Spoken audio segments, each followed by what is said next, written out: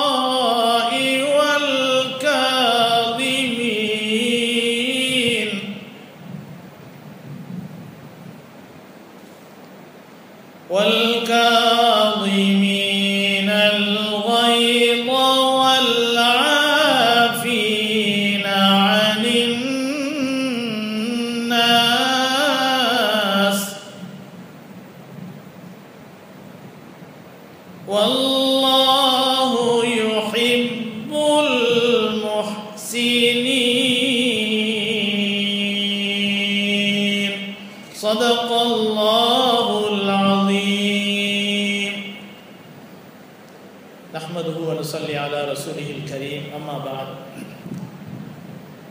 فقد قال الله تعالى في القرآن العظيم والفرقان المجيد أعوذ بالله من الشيطان الرجيم بسم الله الرحمن الرحيم. هن لباس لكم وأنتم لباس لهم. قال النبي صلى الله عليه وسلم خيركم خيركم لأهله وأنا خيركم لأهلي صدق الله العظيم وصدق رسوله النبي الكريم ونحن على ذلك من الشاهدين والشاكرين والحمد لله رب العالمين எல்லா புகழும் ஏக வல்லவனாம் அல்லாஹுக்கே உரித்தாகுக சலவாத்தும் சலாமும் சந்தேமிக்க எம்பெருமானார் முகமது முஸ்தபா சல்லல்லாஹ் அலைவசல்லம் அவர்களின் மீதும் அன்னாரின் கிளையார்கள் தோழர்கள் சுகதாக்கள் சாலிஹீன்கள் உலக முஸ்லிம்கள் அனைவரின் மீதும் குறிப்பாக இங்கே வருகை தந்திருக்கக்கூடிய நம்ம அனைவரின் மீதும் எல்லாம் வல்ல அல்லாஹுவின் பேரருளும் பேருபகாரமும் என்றென்றும் நிரந்தரமாக நிலவட்டுமாகுக. சங்கைக்கும் பெரும் மதிப்பிற்கும் உரிய பெரியார்களே கண்ணியத்திற்குரிய எல்லாம் வல்ல அல்லாஹுவின் நல்லடியார்களே. அல்லாஹு ஜலஷானு தாலா நம்முடைய வாழ்க்கையில பலவிதமான அவனுடைய அருள் வளங்களை நமக்கு தந்திருக்கிறான். உலகத்திலே நாம் வாழ்வதற்கு தேவையான அத்தியாவசியமான அனைத்து அருட்கொடைகளுமே அல்லாஹுடைய நியமத்துகள் தான். அல்லாஹுடைய நியமத்துன்னு சொன்ன உடனே நம்ம வந்து செல்வத்தை மட்டும்தான் நம்ம நினைப்போம். அது அல்ல.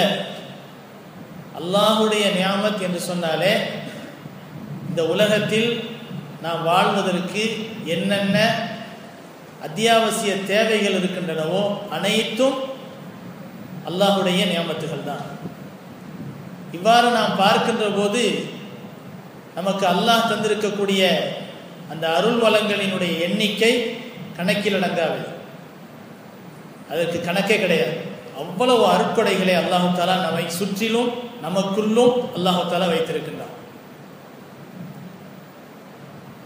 பொதுவாக திருமண நிகழ்ச்சிகளுக்கு சென்றால் திருமணத்தின் போது மணமக்களை வாழ்த்திய அழகான ஒரு வாழ்த்து துவா. நபி அவர்களால் சொல்லித்தரப்படக்கூடிய அற்புதமான துவா.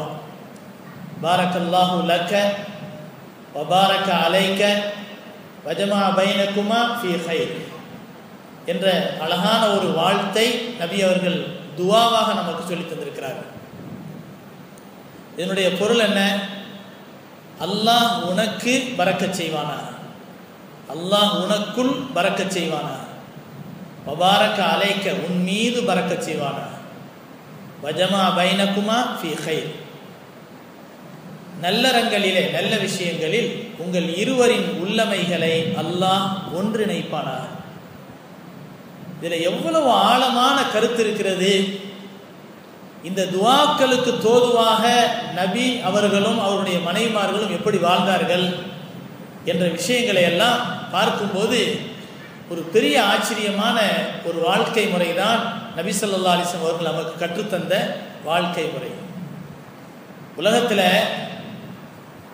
எத்தனையோ திறமசாலிகள் இருப்பார்கள். எத்தனையோ செல்வாக்கு படைத்தவர்கள் இருப்பார்கள்.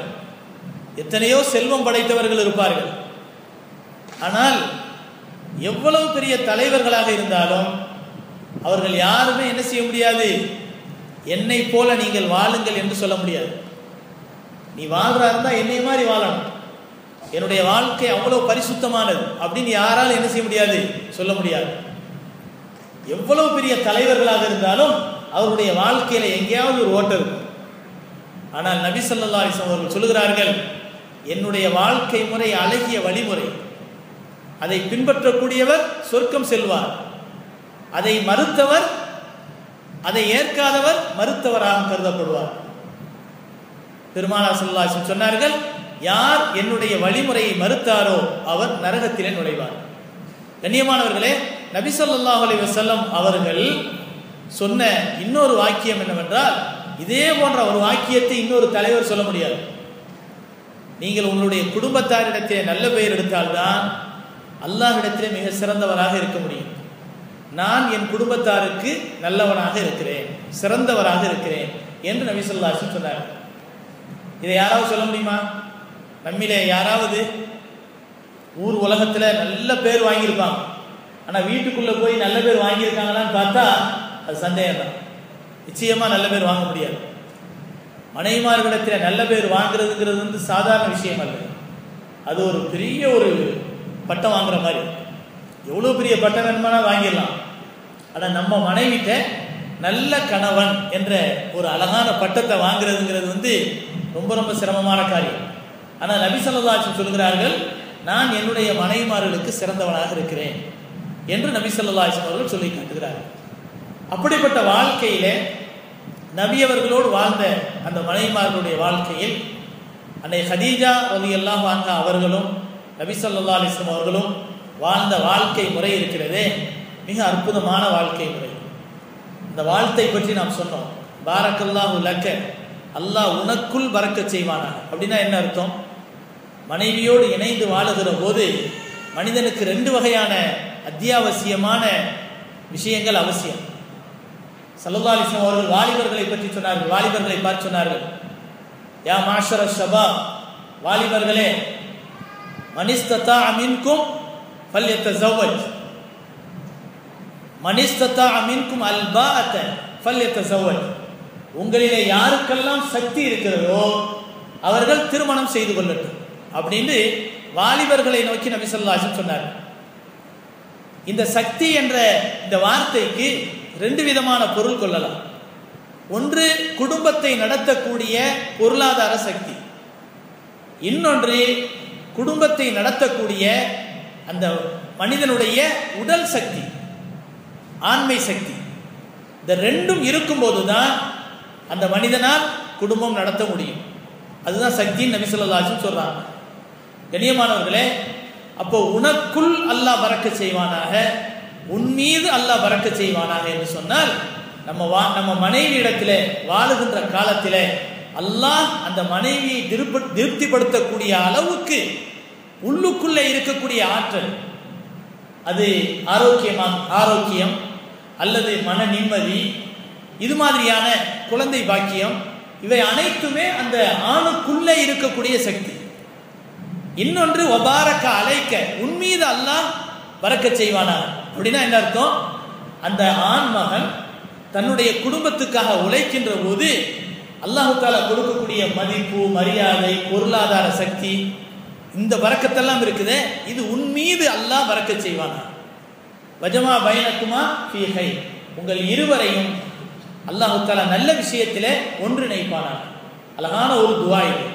கண்ணியமானவர்களே இந்த துவாவுக்கு இலக்கணமாக நபிசல்லாஸ்னுடைய வாழ்க்கை முறை அமைந்திருந்தது.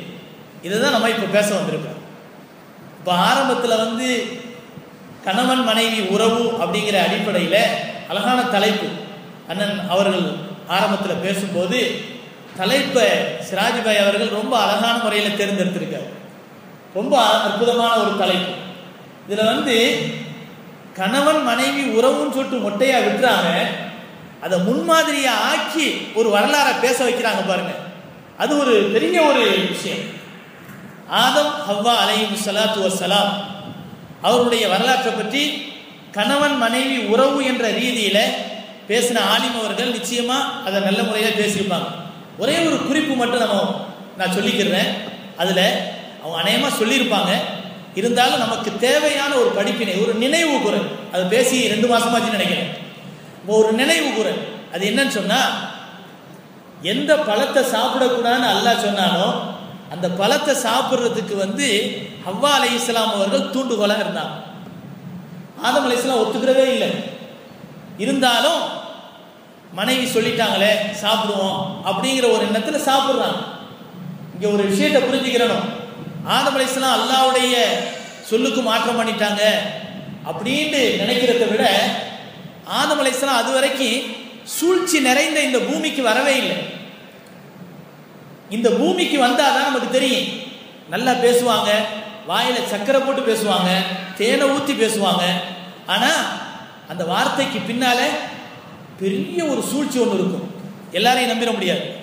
அதுக்காக வேண்டி எல்லாருடைய வார்த்தையும் அப்படித்தான் அப்படின்னு சொல்லிட முடியாது. அப்போ கொஞ்சம் ஜாக்கிரதையா இருக்கும் ஆனா அப்படி ஒரு ஜாக்கிரதை என்ற ஒரு எச்சரிக்கை உணர்வு ஆதம் இஸ்லாத்துக்கு இருக்க வேண்டிய அவசியம் இல்லை அந்த நேரத்தில். காரணம் வந்து மலக்குமார்களுக்கு மத்தியில் வாழ்றாங்க. முழுக்க முழுக்க எல்லாமே மலக்குமார்கள்.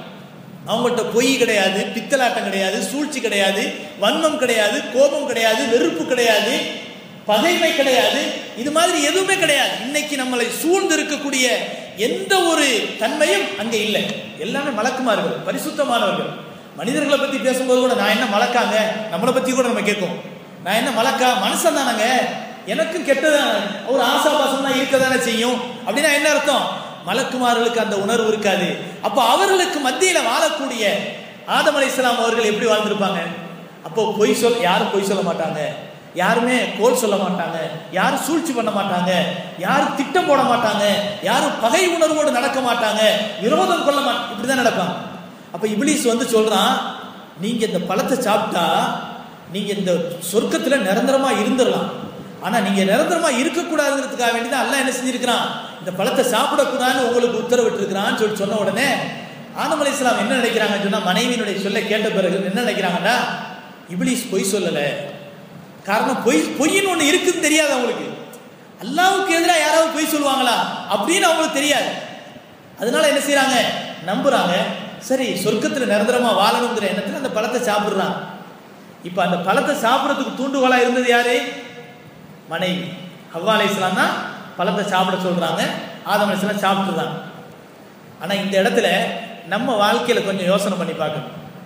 ஒரு ஒரு லட்சம் வெள்ளி லாபம் கிடைக்க வேண்டிய ஒரு நேரத்தில் மனைவி சொல்கிறாங்க ஏங்க வேணாங்க அவன் ஏமாத்திடுவான் விட்டுருங்க அதை. ஒரு லட்சம் வெள்ளி வேணாம் அப்படிங்கிறான் அல்லது மனைவியினுடைய ஏதோ ஒரு தவறான செயல்னால ஒரு ஒரு லட்சம் வெள்ளிக்குரிய ஒரு பொருள் காணா போயிடும். அல்லது ஒரு மில்லியன் அளவுக்கு உள்ள ஒரு மில்லியன் டாலருடைய பொருள் மதிப்புள்ள அளவு ஒரு பொருள் காணா போயிருந்து வச்சுக்கோங்க. அந்த மனைவி என்ன செய்வோம் எவ்வளோ பெரிய கோவப்படுவோம் எவ்வளோ வெறுப்படைவோம் அந்த மனைவியின் மீது எவ்வளோ பெரிய தண்டனை கொடுப்போம்? இந்த மாதிரியான சூழ்நிலையில சில கட்டங்களில் மனைவியை விட்டு பிரியக்கூடிய ஒரு சூழ்நிலை கூட வந்துடும் ஆனால் இங்கே வாங்க. ஆதம் அலி இஸ்லாம் அவர்களும் அவ்வா இஸ்லாம் அவர்களும் சொர்க்கத்தை விட்டு பூமிக்கு தூக்கி எறியப்பட்டதனுடைய காரணம் அந்த பழத்தை சாப்பிடக்கூடாதுன்னு அல்லாஹ் சொல்லியிருக்கும் போது மனைவி சொன்னாங்க சாப்பிடுங்கன்னு சாப்பிட்டாங்க கீழே இறக்கப்பட்டாங்க. சும்மா இறக்கப்படலை. ஆடைகள் எதுவுமே இல்லாமல் ஆடைகள் எல்லாம் உருவப்பட்ட நிலை. அல்லாஹ் குர்ஆன்ல சொன்னான்ல யா பனி ஆதம லா யஃப்தின் அன்னக்கும் ஷைத்தானு கமா அக்ரஜ அபவைக்கும் மினல் ஜன்னதி யன்சியு அன்ஹுமா லிபாஸஹுமா அவ்விருவருடைய ஆடைகளையும் கலைந்து செய்தான் சொர்க்கத்தை விட்டும் அவர்களை வெளியாக்கினானே அதே போல உங்களை ஆக்கிவிட வேண்டாம் அல்லாஹ் சொல்றான். ஆதமுடைய மக்களே செய்தான் எப்படி ஆதம் ஹவ்வாவுடைய ட்ரெஸ்ஸை உரிச்சு அனுப்புனானோ அந்த மாதிரி உங்களுடைய ட்ரெஸ்ஸை கலைஞ்சிட வேணாம் அப்படின்னு அல்லாஹ் சொல்றான். பள்ளிவாசல்ல உட்கார்ந்து இருக்கக்கூடிய நம்மளாம் அப்படி இல்லை. ஆனா இன்னைக்கு அல்லாஹ் என்ன சொல்றானோ அது மாதிரி ஆடையை நிறைவேற்ற கலைஞ்சிட்டான் செய்தான் அந்த திட்டத்தில் அவன் வெற்றி பெற்றுட்டான். கண்ணியமானவர்களை இந்த சூழ்நிலையில நம்ம என்ன சொல்ல வரோம்னு சொன்னா கணவன் மனைவி உறவு எப்படி இருக்கணும்னு சொன்னா அவங்க வேணும்னே தவறு செய்யலை நல்ல எண்ணத்தின் அடிப்படையில் ஒரு ஒரு ஆசைப்பட்டாங்க அது தவறாக முடிஞ்சு போச்சு சொர்க்கத்தை விட்டு அனுப்பப்படுறாங்க சொர்க்கத்தினுடைய விலை எப்படிப்பட்ட விலை? சொர்க்கத்தினுடைய விலை என்ன? கண்மணி நாயகம் ரசூலுல்லாஹி இஸ்லாசன் சொன்னார்கள் சொர்க்கத்திலே ஒரு சாட்டை ஒரு சாட்டை கிடக்கக்கூடிய அந்த இடம் மட்டும் எவ்வளவு வெளி விலை மதிப்பு மிகுந்தது என்று சொன்னால் இந்த உலகம் உலகத்தினுடைய அத்தனை செல்வங்களையும் அதற்கு பகரமாக கொடுத்தாலும் அந்த இடத்தை வாங்க முடியாது. சொர்க்கத்தில் ஒரு சாட்டை கிடக்கக்கூடிய இடம். அந்த அளவுக்கு உள்ள இடத்தை சொர்க்கம் அதாவது இந்த உலகம் இந்த உலகத்தினுடைய செல்வங்கள் அனைத்தையும் விலையாக கொடுத்தாலும் சொர்க்கத்தில் அவ்வளவு சின்ன இடத்தை கூட வாங்க முடியாது. அவ்வளவு மதிப்பு வாய்ந்த ஒரு இடம்தான் சொர்க்கத்தினுடைய இடம். அப்படிப்பட்ட மகத்தான அந்த சொர்க்கத்தை இழந்து பூமிக்கு அனுப்பப்பட்ட அந்த சமயத்திலும் கூட மனைவியின் மீது ஆதம் அலி இஸ்லாமுக்கு கோபம் வரலங்கிறது நமக்கெல்லாம் படிப்பினையா இருக்கும் அதுக்காக என்ன துவா கேட்டாங்க தெரியுமா? அவங்க கேட்கும்போது அல்லாஹு தாலா குரான்ல அதோ அந்த துவாவை மட்டும் சொல்லி காட்டுறான். காரணம் நம்ம வாழ்க்கை அப்படித்தான் இருக்கணும்னு அர்த்தம். கணவன் மனைவிக்கு மத்தியில எத்தனை பிரச்சனை இருந்தாலும் ஓ மனைவியை நீ விட்டு கொடுத்துறாதே. உன்னுடைய மனைவி உன்னுடைய மனைவி. எனவே அந்த மனைவியை நீ விட்டு கொடுத்துறாதே. என்னைக்கும் பிரிஞ்சிடணும்னு நினைக்காத. அரவணைச்சு போ அப்படிங்கிற அடிப்படையில தான் அந்த மனைவிக்காக வேண்டிய ஆதம் அலிஸ்லாம் கேட்கக்கூடிய துவா. ஆதம் அலிஸ்லாத்துக்கும் சேர்த்து ஹவ்வா அலிஸ்லாம் கேட்கக்கூடிய துவா. அந்த ரெண்டு பேருடைய துவாவை பத்தி அல்லாஹ் குரானில் சொல்லும்போது காலா ரப்பனா வலம்னா அன்புசனா வயில்லம் தௌஃபிர்லனா ஒத்தரஹம்னா வதர்ஹம்னா லனகூனன்ன மினல் ஹாசிரி அந்த ரெண்டு பேரும் துவா செஞ்சாங்க. ஒவ்வொருத்தரும் தனித்தனியா ரப்பி லலம்து நப்சி யா என்னுடைய ரச்சகனே நான் எனக்கு அநியாயம் செஞ்சுக்கிட்டேன். என்னை நீ மன்னிக்கலைன்னு சொன்னா நான் நஷ்டவாளியா போயிருவேன். நான் வந்து அதாவது தோல்வி அடைஞ்சிருவேன். அப்படி சொல்லலை. அவங்க ரெண்டு பேரும் என்ன துவா செஞ்சாங்க? ஆதம் அலிஸ்லாம் ஹவ்வாவையும் சேர்த்து துவா செய்றாங்க. ஹவ்வா அலிஸ்லாம் ஆதமையும் சேர்த்து துவா செய்றாங்க. ரப்பானா எங்கள் ரச்சகனே எங்கள் ரெண்டு பேருடைய ரச்சகனே லலம்னா நாங்க ரெண்டு பேருமே அநியாயம் செஞ்சிட்டோம். அன்புசனா எங்களுக்கு நாங்களே அநியாயம் செய்து கொண்டோம். வயில்லம் தகுஃபிர்லனா எங்கள் இருவரையும் நீ மன்னிக்கவில்லை என்றார். தரஹம்னா எங்கள் இருவரின் மீது நீ இறக்கப்படவில்லை என்று சொன்னார். லனக்கும் நன்ன மிரல் காசிரியின் நாங்கள் ரெண்டு பேருமே நாங்கள் நஷ்டவாளியா போயிடுவோம் யாருலா என்று ஆதம் அலை மனைவி விட்டு கொடுக்கல. தன்னுடைய மனைவியை ஆதம் அலை விட்டு கொடுக்கல. நம்ம வாழ்க்கை எப்படி இருக்கணும்? ஆதி தந்தை ஆதம் அலை அவர்களும் அவ்வா அலை அவர்களும் உணர்வு பூர்வமாக ஒருவருக்கொருவர் எப்படி ஒற்றுமையோடு இருந்தார்களோ அதே போன்றுதான் நாமும் இருக்க வேண்டும். ஆனா இன்னைக்கு அப்படி இருக்குமா? சின்ன சின்ன விஷயத்துக்கெல்லாம் பெரிய சண்டை. அண்ணன் சொன்னாங்கல்ல நீ போட்ட லைட் தானே? நான் ஏன் ஆஃப் பண்ணனு? அப்படிங்கிற மாதிரி. சந்தேக புத்தி. வெளியில போய் சம்பாதிக்கக்கூடிய ஒரு தைரியம் வந்துருச்சு. வரக்கூடிய நேரத்தில் வரல. அப்படிங்கும்போது சந்தேகம் வருது. அந்த சந்தேகம் என்ன ஆகுது அப்படியே கொஞ்சம் கொஞ்சமாக பெருசாக போய் ஒரு பெரிய ஒரு பிரளயத்தை உருவாக்கி பிரிஞ்சு போகக்கூடிய நிலைமைக்கு வந்துடுது நீ என்ன? பெரிய இதில் பெரிய கொடுமை என்ன தெரியுமா? அந்த காலத்துல எல்லாம் கணவனுடைய வீட்டை விட்டு மனைவி வந்துட்டா வாப்பா அம்மா என்ன செய்வாங்கன்னு சொன்னால் ஒரு நிமிஷம் கூட வீட்டில் வச்சிருக்க மாட்டாங்க. உடனே இழுத்துக்கிட்டு போய் உன் கணவன் தான் எல்லாமே. நீ அங்கே போய் இரு. மற்றது அப்புறம் பேசிக்கிடுவோம். அப்படின்னு கொண்டு போய் என்ன செய்வாங்க? நைட்டு பன்னெண்டு மணியாக இருந்தாலும் கொண்டு போய் வீட்டில் தள்ளிட்டு வந்துடுவாங்க அதுக்கப்புறம் பேசிக்கிடுவான் நீ வீட்டை விட்டு வந்தது தப்பு அப்படின்றான் இன்னைக்கு நம்ம பெற்றோர்களில் சில பேர் எல்லாரையும் நான் சொல்லலை. இன்னைக்கு அந்த பிரச்சனை பெருசா போய் வெடித்து சிதறி பிரிஞ்சு போறதுக்கு முக்கியமான காரணம் பேரண்ட்ஸ் பெற்றோர்கள். என்ன சொல்றாங்க தெரியுமா? நீ அவனை விட சம்பளம் நிறைய வாங்குற. உன்கிட்ட என்ன உன் கையில சம்பளம் இது இல்லை சம்பாத்தியம் இல்லையா? வேலை இருக்கு. நல்லா சம்பாதிக்கிற. அவனை விளையாட்டு காட்டு. விட்டு தான் பிடிக்கணும். அவன் கொஞ்ச நாளைக்கு பிறகு திரும்பி நம்மகிட்ட வரட்டும். அவனை கெஞ்சவை நீ பணிஞ்சு போவாத. இப்படி சொல்லக்கூடிய குடும்பமாக இருந்தா பிரியாம வேற என்ன செய்யும்? விட்டு கொடுக்க வேண்டியவர்களும் விட்டு கொடுப்பதில்லை. சமாதானப்படுத்த வேண்டியவர்களும் சமாதானப்படுத்துவதில்லை. இந்த குடும்பம் எப்படி ஒரு பூங்காவனமாக இருக்கும்? அது பூதாகரமாக தான் மாறும். கண்ணியமானவர்களே அப்படிப்பட்ட மோசமான நிலைதான் இன்றைக்கு பல விளைவுகளை உருவாக்கி கொண்டிருக்கிறது. இந்த நேரத்தில் அல்லாஹ் சொல்லக்கூடிய அழகான வாக்கியம் ஆரம்பத்தில் நம்ம ஓதி காட்டணும் பாருங்க. முன்ன லிபாசுல்லக்கும் வாந்தும் சொல்லவும் அவர்கள் உங்களுக்கு ஆடை நீங்கள் அவர்களுக்கு ஆடை. இது ஒரு சின்ன ஒரு சென்டென்ஸ் தான். ஆனால் இதில் எவ்வளவு பெரிய கருத்து இருக்கு தெரியுமா? பல வகையான கருத்துக்களை விளக்க உரையாளர்கள் அதற்கு எழுதுகிறார்கள். அது என்ன பல விதமான கருத்துக்கள் என்று சொன்னால் அதாவது நம்முடைய ஆசாபாசம் நம்ம உள்ளத்தில் ஏற்படக்கூடிய மனோ இச்சை ஆசைன்னு ஒன்று இருக்க தானே செய்யுது ஒரு ஆணுக்கு ஆசை இருக்குன்னு சொன்னால் அதை என்ன செய்யறான்? தன்னுடைய மனைவி இடத்திலே தீர்த்து கொள்ளக்கூடிய ஒரு ஹலாலான உரிமை இருக்கிறது. அப்ப இவனுடைய அந்த ஆசாபாசத்தை வெளிப்படுத்தினா அவமானம் என்பது வெளியாகும். அப்ப அந்த அவமானத்தை தடுக்கக்கூடிய ஆடை யார்? மனைவி. ஆள் பாதி ஆடை பாதி. அப்படித்தானே சொல்லுவாங்க பழமொழி. ஆள் பாதி ஆடை பாதி. இப்போ எத்தனையோ பேர் வேற ஒன்றும் ட்ரெஸ்ஸை மற்றெல்லாம் கலக்க வேணாம். சட்டையை மட்டும் கலட்டிட்டாலே உள்ளுக்குள்ள இருக்கக்கூடிய எத்தனையோ ஒரு அதாவது கருப்பு அடையாளங்கள் அல்லது தேமல் இது மாதிரியான எத்தனையோ அசிங்கங்கள் வெளியே தெரிய ஆரம்பிச்சோம் அப்ப யாராவது ஆடை இல்லாமல் மேல உள்ள சட்டம் மட்டும் இல்லாமல் நடக்க முடியுமா? நடந்தால் அவனுடைய மான மரியாதை என்ன ஆகும்? எத்தனையோ பேருடைய மான மரியாதைகளை மறைக்கக்கூடியது ஆடை தான் அதே போலதான் ஒரு கணவன் மனைவியை கொண்டு தன்னுடைய அவமானத்தை தன்னுடைய மனோ இச்சையை அடக்கி கொண்டு கண்ணியம் உள்ளவனாக வாழுகிறான். அதே போல மனைவி. மனைவியும் தன்னுடைய கணவனை கொண்டு அந்த மதிப்பு மரியாதையோடு கண்ணியத்தோடு வாழுகிறாள். அந்த இழிவை சந்திப்பதில்லை. இவ்வளவு பெரிய அந்தஸ்தை கொடுப்பது கணவனுக்கு மனைவி தான் மனைவிக்கு கணவன் தான். ஆனால் இதுல தேடல் இருக்கணும். இந்த கணவன் மனைவி உறவு என்ற இரண்டாவது தலைப்பாக அன்னை ஹதீஜா ரவி அவர்களோடு நபி சொல்லா அலிஸ்லாம் அவர்கள் வாழ்ந்த வாழ்க்கை அதில் கிடைக்கக்கூடிய படிப்பினை. அவனுடைய வாழ்க்கை எப்படி இருந்துச்சு? இதில் முதல் விஷயம் என்ன தெரியுமா? தேடல். ஒரு நல்ல மனைவி வந்து நல்ல கணவனை தேர்ந்தெடுக்கணும். ஒரு கணவன் நல்ல மனைவியை தேர்ந்தெடுக்கணும். இந்த தேடல் இருக்கணும்.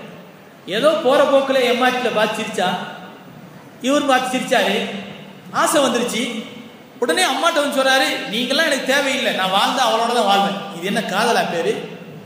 இது கன்றாவி இல்லையா இது?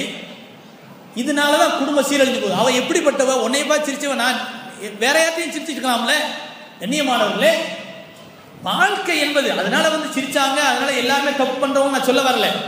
மாறாக நம்மளுடைய பெற்றோர் நமக்கு எந்த விதத்திலும் கெட்டது நினைக்க மாட்டான் நல்லதுதான் நினைப்பான் அல்லாஹ் குர்ஆன்ல சொல்லும்போது என்ன சொல்றான்னு சொன்னா அல் ஹபீசாத்து லில் ஹபீசீன வல் ஹபீசூன லில் ஹபீசாத் வத்தையிபாத்து லித்தையிபீன வத்தையிபூன தையிபா. அல்லாஹ் குர்ஆன்ல சொல்றான். ஏதோ கவிதை படிக்கிற மாதிரி நினைக்காதீங்க. அழகான ஒரு ஆயத்து இது. அல் ஹபீசாத்து லில் ஹபீசீன வல் ஹபீசூன லில் ஹபீசா அல்லாஹ் சொல்றான் அசுத்தமான பெண்களுக்கு அசுத்தமான ஆண்கள் தான் கிடைப்பார்கள் அல் ஹபீதாத்து லில் ஹபீதீன வல் ஹபீதூன லில் ஹபீதா அசுத்தமான பெண்களுக்கு அசுத்தமான ஆண்கள் தான் கிடைப்பார்கள் ஒத்தையிபாத்து பரிசுத்தமான பெண்கள் தான் லித்தையிபீன பரிசுத்தமான ஆண்களுக்கு ஜோடிகள். ஒத்தையிபூன லித்தையிபா பரிசுத்தமான ஆண்கள் தான் பரிசுத்தமான பெண்களுக்கு ஜோடிகளாக வருவார். இதுல நல்ல குணம் படைத்தவர்களை தேர்ந்தெடுக்கின்ற ஒரு உரிமையை அல்லாஹ் நமக்கு தந்திருக்கிறான். தேர்ந்தெடுக்கிற உரிமையை அல்லாஹ் நமக்கு தந்திருக்கிறான். அந்த தேர்ந்தெடுத்தல் என்பது செல்வத்தை கொண்டோ அழகை கொண்டோ அந்தஸ்தை கொண்டோ இருக்குமேயானால் அது ஒரு கால் ஃபெயில் ஆனால் யார் குணத்தையும் அவர்களுடைய வழியையும் பார்த்து தேர்ந்தெடுக்கிறார்களோ அந்த வாழ்க்கை தான் செழிப்பார் சல்லல்லாலிசம் சொன்னார்கள் இல்லையா? துன்கபுல் மருஅத்து லி அருபாய் ஒரு பெண் நான்கு விஷயத்திற்காக திருமணம் முடிக்கப்படுகிறார். அவருடைய அளவு அவருடைய அந்தஸ்து அவருடைய செல்வம். அதே போல் அவர் இப்படி நபிசல்லா சொல்லிவிட்டு ஆனால் யார் அவருடைய குணத்தை கொண்டு தேர்ந்தெடுக்கிறாரோ அவர் தான் வெற்றி பெற்றவர். நபிசல்லா சொன்னார். இங்கே ஹதீஜா அம்மையார் தேர்ந்தெடுக்கிறாங்க. நபி அவர்களை தேர்ந்தெடுக்கிறாங்க. நபி அவர்களும் அதற்கு ஒப்புதல் தெரிவிக்கிறார். இந்த ரெண்டு பேருடைய உள்ளமை ஒன்றுபட்டதற்கு காரணம் என்ன என்று சொன்னால் அந்த தேடல்லையே தெரியும். அந்த ஹதீஜா அம்மையார் தேடின தேடல்லையே தெரியும். ஹதீஜா அம்மையார் அதுக்கு முன்னால ரெண்டு கணவனை கல்யாணம் பண்ணியிருந்தாங்க அந்த ரெண்டு கணவனுடைய ஒருத்தர் மூத்தா போனார் இன்னொருத்தர் தலா கூட்டார் ஆனால் ஹதீஜா அம்மையாருடைய வயது நாற்பது வயது. நல்லா புரிஞ்சுக்கிறனும் இது நமக்கு கேட்கறதுக்கு ஒரு அதாவது விதர்ப்பமா தெரியலாம். ஆனா அந்த சமூகத்தில் அது ஏற்றுக்கொள்ளப்பட்ட ஒரு மரபு. அது அங்கீகரிக்கப்பட்ட ஒரு மரபு. அதனாலதான் பெரியவங்களை வச்சு பேசினாங்க. நபி அவர்களாம் என்ன செஞ்சாங்க? அவங்க ஒரு தோழி வந்தவொடனே அப்படியா? நான் நல்ல வசதியாக இருக்கணும்னு தான் ஆசைப்படுறேன். கஷ்டப்பட்டதெல்லாம் சின்ன வயசில் கஷ்டப்பட்டாச்சு. இப்போ கொஞ்சம் வசதியாக இருக்கலாம்னு ஆசைப்படுறேன். அதனால வயசை பற்றி பரவாயில்லை. முன்ன பின்ன இருந்தாலும் சமாளிச்சுக்கிறேன். அப்படிலாம் நபி அவர்கள் சொல்லலை. சல்லல்லா அலிஸ்லாம் அவர்கள்ட்ட வந்து நஃபீசா என்ற அம்மையார் யாரு? கதீஜா அம்மையாருடைய தோழி வந்து சொன்ன உடனே சல்லல்லா அலிஸ்லாம் அவர்கள் அந்த இஷ்டத்தை யார்கிட்ட விட்டாங்க? தன்னை வளர்த்த அபு தாலிப்ட சொன்னாங்க. இந்த மாதிரி அவங்க விரும்புகிற மாதிரி சொல்கிறாங்க நீங்கள் கொஞ்சம் எது என்ன ஏதுன்னு விசாரித்து பேசி முடிவு பண்ணீங்கன்னு சொல்லும்போது தான் ரெண்டு பேருடைய குடும்பத்தாரின் பெரியவர்கள் உட்கார்ந்து பேசுகிறாங்க ரெண்டு குடும்பத்தார். அல் விதாயா வன்னிகாயாங்கிற வரலாற்று நூலில் இதை பற்றி அற்புதமான முறையில் இவனு கத்தீர் அமத்துல எழுதுவான். இப்னு கத்தீர் ரஹமத்துல்லாய் தப்சீர் இப்னு கத்தீர் எழுதியிருக்காங்களே அந்த இப்னு கத்தீர் ரஹமத்துல்லா அவர்கள் தான் அல் விதாயா வன்னிகாயா என்ற வரலாற்று நூலை எழுதியிருக்கிறாங்க. அது அற்புதமான வரலாற்று நூல். அவர்கள் பிறக்கின்ற வரை இப்னு கத்தீர் ரஹமத்துல்லாலி எது வரைக்கும் பிறந்தாங்களோ அது வரைக்கும் வந்த இஸ்லாமிய பேரறிஞர்கள் முக்கியமானவர்கள் யார் யார் இருந்தாங்களோ ஆதம் அலை இஸ்லாத்திலேருந்து உலகம் படைக்கப்பட்ட ஆரம்பத்திலேருந்து எல்லாத்தையும் எழுதிக்கிட்டு வர்றாங்க. அற்புதமான ஒரு வரலாற்று நூல். அந்த நூலில் வந்து கதீஜா அம்மையாருடைய குடும்பத்தினரும் சல்லல்லாஹுடைய குடும்பத்தினரும் உட்கார்ந்து பேசின அழகான ஒரு அந்த ஹித்துபத்தினுடைய நிகழ்ச்சியை பற்றி அற்புதமாக நிகழ்கிறாங்க கண்ணியமானவர்களே அது பின்னால் சொல்லுவோம். இப்போ ஹதீஜா அம்மையார் ரலி எல்லாம் வாங்கா அவர்கள்ட்ட வந்து ரெண்டு கணவனையும் இழந்து செல்வம் இருக்கு. இப்போ அவர்கள்ட்ட வந்து பொருள் இருக்கு. ஆனால் வியாபாரத்தை நடத்தக்கூடிய திறமை வாய்ந்த ஒரு ஆணை தேர்ந்தெடுக்கிறாங்க. தேர்ந்தெடுக்கணும் அப்படிங்கிற ஒரு நிலைக்கு வர்றாங்க. அவர்கள்ட்ட ஒரு பழக்கம் என்னன்னு சொன்னால் செல்வத்தை ஆம்பளைங்கள்ட்ட கொடுத்து அதை வியாபாரத்துக்காக அனுப்புவாங்க வாணிகம். வியாபாரத்துக்காக அனுப்புவாங்க. வியாபாரத்தில் கிடைக்கக்கூடிய பங்குல வந்து அவங்க ஒர்க்கிங் பார்ட்னர் இவங்க வந்து செல்வத்தினுடைய பார்ட்னர் இப்போ அந்த அடிப்படையில் அந்த செல்வத்தை பிரிச்சுக்கிடுவாங்க இப்போ ரெண்டு கணவனை இழந்ததுக்கு பின்னால சல்லல்லாஹு அலைஹி செல்லம் அவர்களுடைய விஷயத்தை கேள்விப்படுறாங்க. மைசராங்கிற தன்னுடைய வேலைக்காரரை ஏற்பாடு பண்றாங்க கூப்பிடுறாங்க. கூப்பிட்டு உன்னுடைய வேலை என்னன்னு சொன்னா இப்போ ஒரு வியாபாரத்தை நான் அனுப்ப போறேன். அந்த வியாபாரத்தினுடைய பொறுப்பை முகம்மதுங்கிற இந்த மனிதத்தை நான் ஒப்படைக்க போறேன். இவருடைய நடவடிக்கை என்ன? அவருடைய நாணயம் என்ன? அவருடைய அந்தஸ்து என்ன? அவருடைய பேச்சுவார்த்தை என்ன? அவருடைய போற வழியில நடக்கக்கூடிய நிகழ்வுகள் என்ன? எல்லாத்தையும் நீ கண்காணிக்கணும். வேற வேலையும் உனக்கு கிடையாது. முகம்மதை கண்காணிக்கிற மட்டும்தான். நீ அவருக்கு துணையா போற மாதிரி போற. ஆனா அவருடைய ஒவ்வொரு நடவடிக்கையும் பேச்சுவார்த்தையும் அவருக்கு ஏற்படக்கூடிய சிறப்புகளையும் கவனிச்சுக்கிட்டே வரணும். அதை வந்து ஒன்று விடாமல் இங்கே வந்து சொல்லணுங்கிறாங்க. அப்போ மைசரா அவங்க என்ன செய்கிறாங்க சல்லாசம் அவங்க கூட கூட மாட ஒத்துழைப்புக்காக வேண்டி ஹெல்ப்பராக போகிறாங்க ஒரு பணியாளராக போகிறாங்க போகிற வழியில் எல்லாத்தையும் கவனிக்கிறாங்க. போகிற வழியிலேயே ஒரு கிறிஸ்துவ ஆலயத்திற்கு அருகிலே தங்கியிருக்கிறாங்க. தங்கும்போது அங்கே உள்ள ஃபாதர் ஒருத்தர் வர்றார். வந்து மைசராவை பார்த்து கேட்குறாரு இந்த மனிதர் யார்? இந்த மனிதர் யார்? இவர் இந்த மாதிரி அரபு தேசத்தில் இப்படிப்பட்ட உயர்ந்த குடும்பத்தில் உள்ளவர் இவருடைய பேர் முகமது இவர் வந்து ஒரு கடைசி தீர்க்கதரிசி. இவருடைய இவர் ஒரு கடைசி தீர்க்கதரிசி. காரணம் இந்த மரத்துக்கு கீழே ஒரு மனிதர் தங்குவார் அவர் கடைசி தீர்க்கதரிசியாக வருவார் அவருக்கு மேகம் நிழல் கொடுக்கும் என்றெல்லாம் என்னுடைய வேதத்தில் சொல்லப்பட்டிருக்கு. அதே மாதிரி இவர் வரும்போது நான் இவருக்கு மேகம் நிழல் கொடுப்பதை பார்த்தேன். இவருக்காக வேண்டி மரம் சாய்ந்து நிழல் கொடுத்ததை கண்டேன். இந்த மரத்துக்கு கீழே இவர் தங்கியதும் இவருடைய நுபுவத்தின் அடையாளம். அப்படின்னு அவர் சொல்றார். இதை கேட்டு வச்சுக்கிறார். இப்படி ஒவ்வொன்றையும் இவரும் கவனிக்கிறார். மேக நிழல் கொடுக்கிறது போற வழியில பல அற்புதங்கள் இதெல்லாம் கவனிச்சுட்டே வர்றார். போற வழியில நபி அவர்களுடைய பேச்சுவார்த்தையில ஒருத்தரை பத்தி கூட புறம் பேசல. ஒருத்தரை பத்தி கூட கெட்ட வார்த்தையை பேசல. அவருடைய வியாபாரம் சொன்னாலே எப்படி இருக்கும்? வியாபாரம் என்று சொன்னாலே சல்லல்லாஹு சொன்னார்கள் அத்துஜாரு ஃபின்னா வியாபாரிகள் எல்லாருமே நரகம்தான். ஆனா இல்லா மணித்தக்கா. யார் வியாபாரத்தில் அல்லாஹ் பயப்படுறாரோ அவரை தவிர. வியாபாரம் வந்துட்டாலே அதுல மோசடி இருக்கும் பொய் பித்தலாட்டம் இருக்கும் ஏமாற்று இருக்கும் இதை விட்டு யாருமே தப்பிக்க முடியாது. ஆனா யார் இதை விட்டு தப்பித்துக் கொள்ளக்கூடிய வகையில் அல்லாவை அஞ்சுகிறாரோ அவர்தான் உண்மையான வியாபாரி. அந்த உண்மையான வியாபாரிகளுக்கு என்ன கிடைக்கும்? செல்லலாஜி சொல்லும் போது அத்தாஜுரு சதூக்குல் அமீன் மான் நபி வ சித்தீகீன வ சுகதாய் வசாலி செல்லலாஜி சொன்னார். யார் உண்மையும் நாணையும் மிகுந்த ஒரு வியாபாரியாக இருக்கிறாரோ அவர் நபிமார்களோடு சுகதாக்களோடு சாலிகன்களோடு நாளை மறுமையில் இருப்பார் என்று நபி சொல்லா அலிஸ்லம் சொல்லி காட்டினார். அப்போ அப்படிப்பட்ட ஒரு வியாபாரத்தை நபியவர்கள் சொன்னாங்க போற ஒவ்வொரு இடத்திலையும் நபியவர்களுடைய வார்த்தை அவருடைய நளினம் அவருடைய நாணயம் நம்பிக்கை எல்லாமே ரொம்ப அற்புதமா இருக்கு. இதுவரைக்கும் அந்த மாதிரி பார்த்ததே கிடையாது. எந்த வியாபாரியத்தையும் அந்த மைசரா பார்த்ததே கிடையாது. வியாபாரத்தை முடிச்சுக்கிட்டு வந்ததுக்கு பின்னால சல்லல்லா அலிஸ்லாம் அவர்களை பற்றிய அற்புதங்களையும் அந்த அந்த ஃபாதர் சொன்ன அந்த துறவி சொன்ன அந்த அடையாளங்களையும் அவர்கள் நடந்து கொண்ட அந்த நாணயம் நம்பிக்கை உண்மை இது மாதிரியான விஷயங்களையும் எல்லாத்தையுமே மைசரா ஒன்று விடாம தன்னுடைய எஜமானி அம்மா கதீஜா ரலி அங்கே அவர்கள்ட்ட வந்து சொல்லிட்டாங்க. சொன்னதுக்கு பின்னால கதீஜா அம்மையார் ஒரு முடிவுக்கு வர்றாங்க. நான் அவங்கள திருமணம் முடிக்கணும். இதுக்கு முத முத தன்னுடைய தோழி நஃபீஸாவை கூப்பிட்றாங்க. கூப்பிட்டு சொல்றாங்க நான் முகம்மதை நான் திருமணம் முடிக்கலான்னு ஆசைப்படுறேன். அவருக்கு இருபத்தஞ்சு வயசு தான் எனக்கு நாற்பது வயசு. இருந்தாலும் என்னிடத்தில் செல்வம் இருக்கு.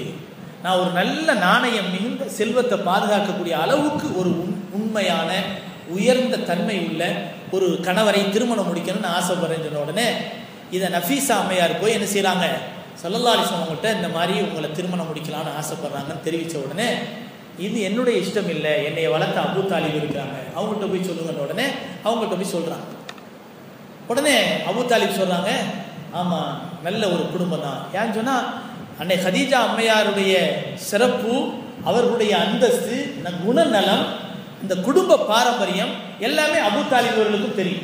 சிறந்த ஒரு குடும்பத்துக்கு உரியவர்கள். இப்படிப்பட்ட ஹதீஜா அம்மையாரோடு தன்னுடைய மகன் முகமது சல்லா அலிஸ்லாம் அவர்கள் இணைவார்களே ஆனால் ரசூலுல்லா இஸ்லாசம் அவர்களுடைய நற்பண்புகளுக்கும் அவர்களுடைய ஒரு சிறந்த வாழ்க்கைக்கும் இவர்கள் உறுதுணையா இருப்பாங்கங்கிற ஒரு முடிவுல என்ன செய்யறாங்க உடனே பெரியவர்களுக்கு தகவல் கொடுக்கப்படுது ரெண்டு பெரியவர்களும் ஒன்னா சேர்றாங்க. ஒன்னா சேரும்போது அந்த ஹித்துபத் அதாவது அந்த மன ஒப்பந்தம் நடக்குது. திருமணம் நடக்கல. மன அந்த மன நாளினுடைய ஒப்பந்தம். அது முடிவு செய்கிறாங்க முடிவு நாள் நடக்குது. அதுக்கு வந்து ஹிதுபத்துன்னு சொல்லுவாங்க. அப்போ பேசும்போது அபு தாலிப் அவர்கள் என்ன செய்கிறாங்கன்னு சொன்னால் அவர்களுடைய குடும்பம் ஹாஷிம் கிளையார்கள் இருக்காங்க பாருங்க. அவர்களுடைய பெருமையை பற்றி சொல்றான். ஹாஷிம் கிளையார்கள் எப்படிப்பட்டவர்கள் என்றால் இவர்கள் வந்து வீரம் மிகுந்தவர்கள் காபாவை நிர்மாணம் நிர்வாகம் செய்யக்கூடியவர்கள் சம்சம் தண்ணீருடைய பராமரிப்புக்கு அவர்கள் உட்பானவர்கள். இப்படி எல்லாம் அவர்களுக்கு அவர்கள் பெற்றிருக்கக்கூடிய சிறப்பு தலைமைத்துவத்தினுடைய சொந்தக்காரர்கள் பாரம்பரியம் பாரம்பரியமாக தவறு செய்யாதவர்கள்.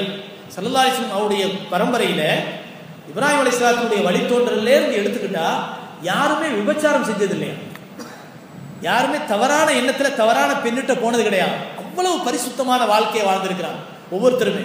எல்லோருமே யாருமே கோழைகளாக இருந்ததில்லை. எல்லோருமே வீரம் மிகுந்தவர்களாக இருந்திருக்காங்க. இதையெல்லாம் சொல்லி காட்டினாங்க அதே மாதிரி ஹதீஜா அம்மையாருடைய குடும்பத்தில் உள்ள பெரியவங்க எல்லாருமே அவங்களுடைய குடும்ப பெருமையை பற்றி பேசுகிறாங்க இப்போ ரெண்டுக்கும் பின்னால அப்போ இந்த ரெண்டு குடும்பமும் இணைவதால் எந்த விதமான பாதகமும் இல்லை. ரெண்டும் நல்லா தான் நல்ல குடும்பம் தான் ஒன்றிணைவது நல்லது தான் அப்படின்னு சொல்லிட்டு ஒரு முடிவுக்கு வந்து திருமணம் முடிச்சு வைக்கிறாங்க.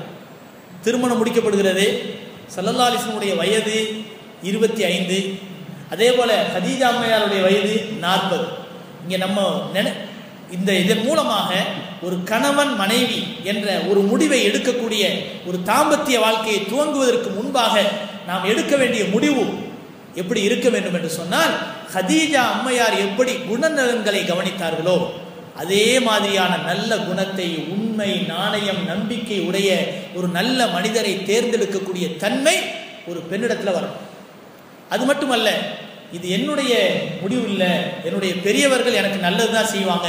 அவங்க என்ன சொல்கிறாங்களோ நான் கேட்குறேன். அப்படிங்கிற அடிப்படையில் செல்லல்லாசம் அவர்கள் பெருந்தன்மையோடு அதை தன்னுடைய பெரியவர்களுடைய முடிவுக்கு விட்டாங்க பத்தியெல்லாம் இந்த தன்மை இருந்தால் நிச்சயமா வாழ்க்கை செழிப்பாக இருக்கும். பெரியவர்களுக்கு முக்கியத்துவம் கொடுக்கும்போது நிச்சயமா அந்த வாழ்க்கையில பறக்கத்து இருக்கு. இந்த வாரம் ஜும்மாவுடைய பயான் வந்து மூவிஸ் அனுப்பியிருந்தாங்களே ரொம்ப அற்புதமான ஒரு தலைப்பு. பெரியவர்களின் மூலமாகத்தான் நம்ம வாழ்க்கையில வரக்கத்து உண்டாக முடியும் பெரியவர்களுடைய துவா மட்டுமல்ல அவருடைய வழிகாட்டல். இது இன்னைக்கு அறவே இல்லாம போச்சு. அது நூத்துல ரெண்டு பங்கு இருக்குன்னு கூட சொல்ல முடியாது. அறவே இல்லாம போச்சு. தன்னால் எதையும் சுயமாக முடிவெடுக்க முடியும் என்ற ஒரு சூழ்நிலைக்கு ஒவ்வொரு மனிதனும் வருகிறான்.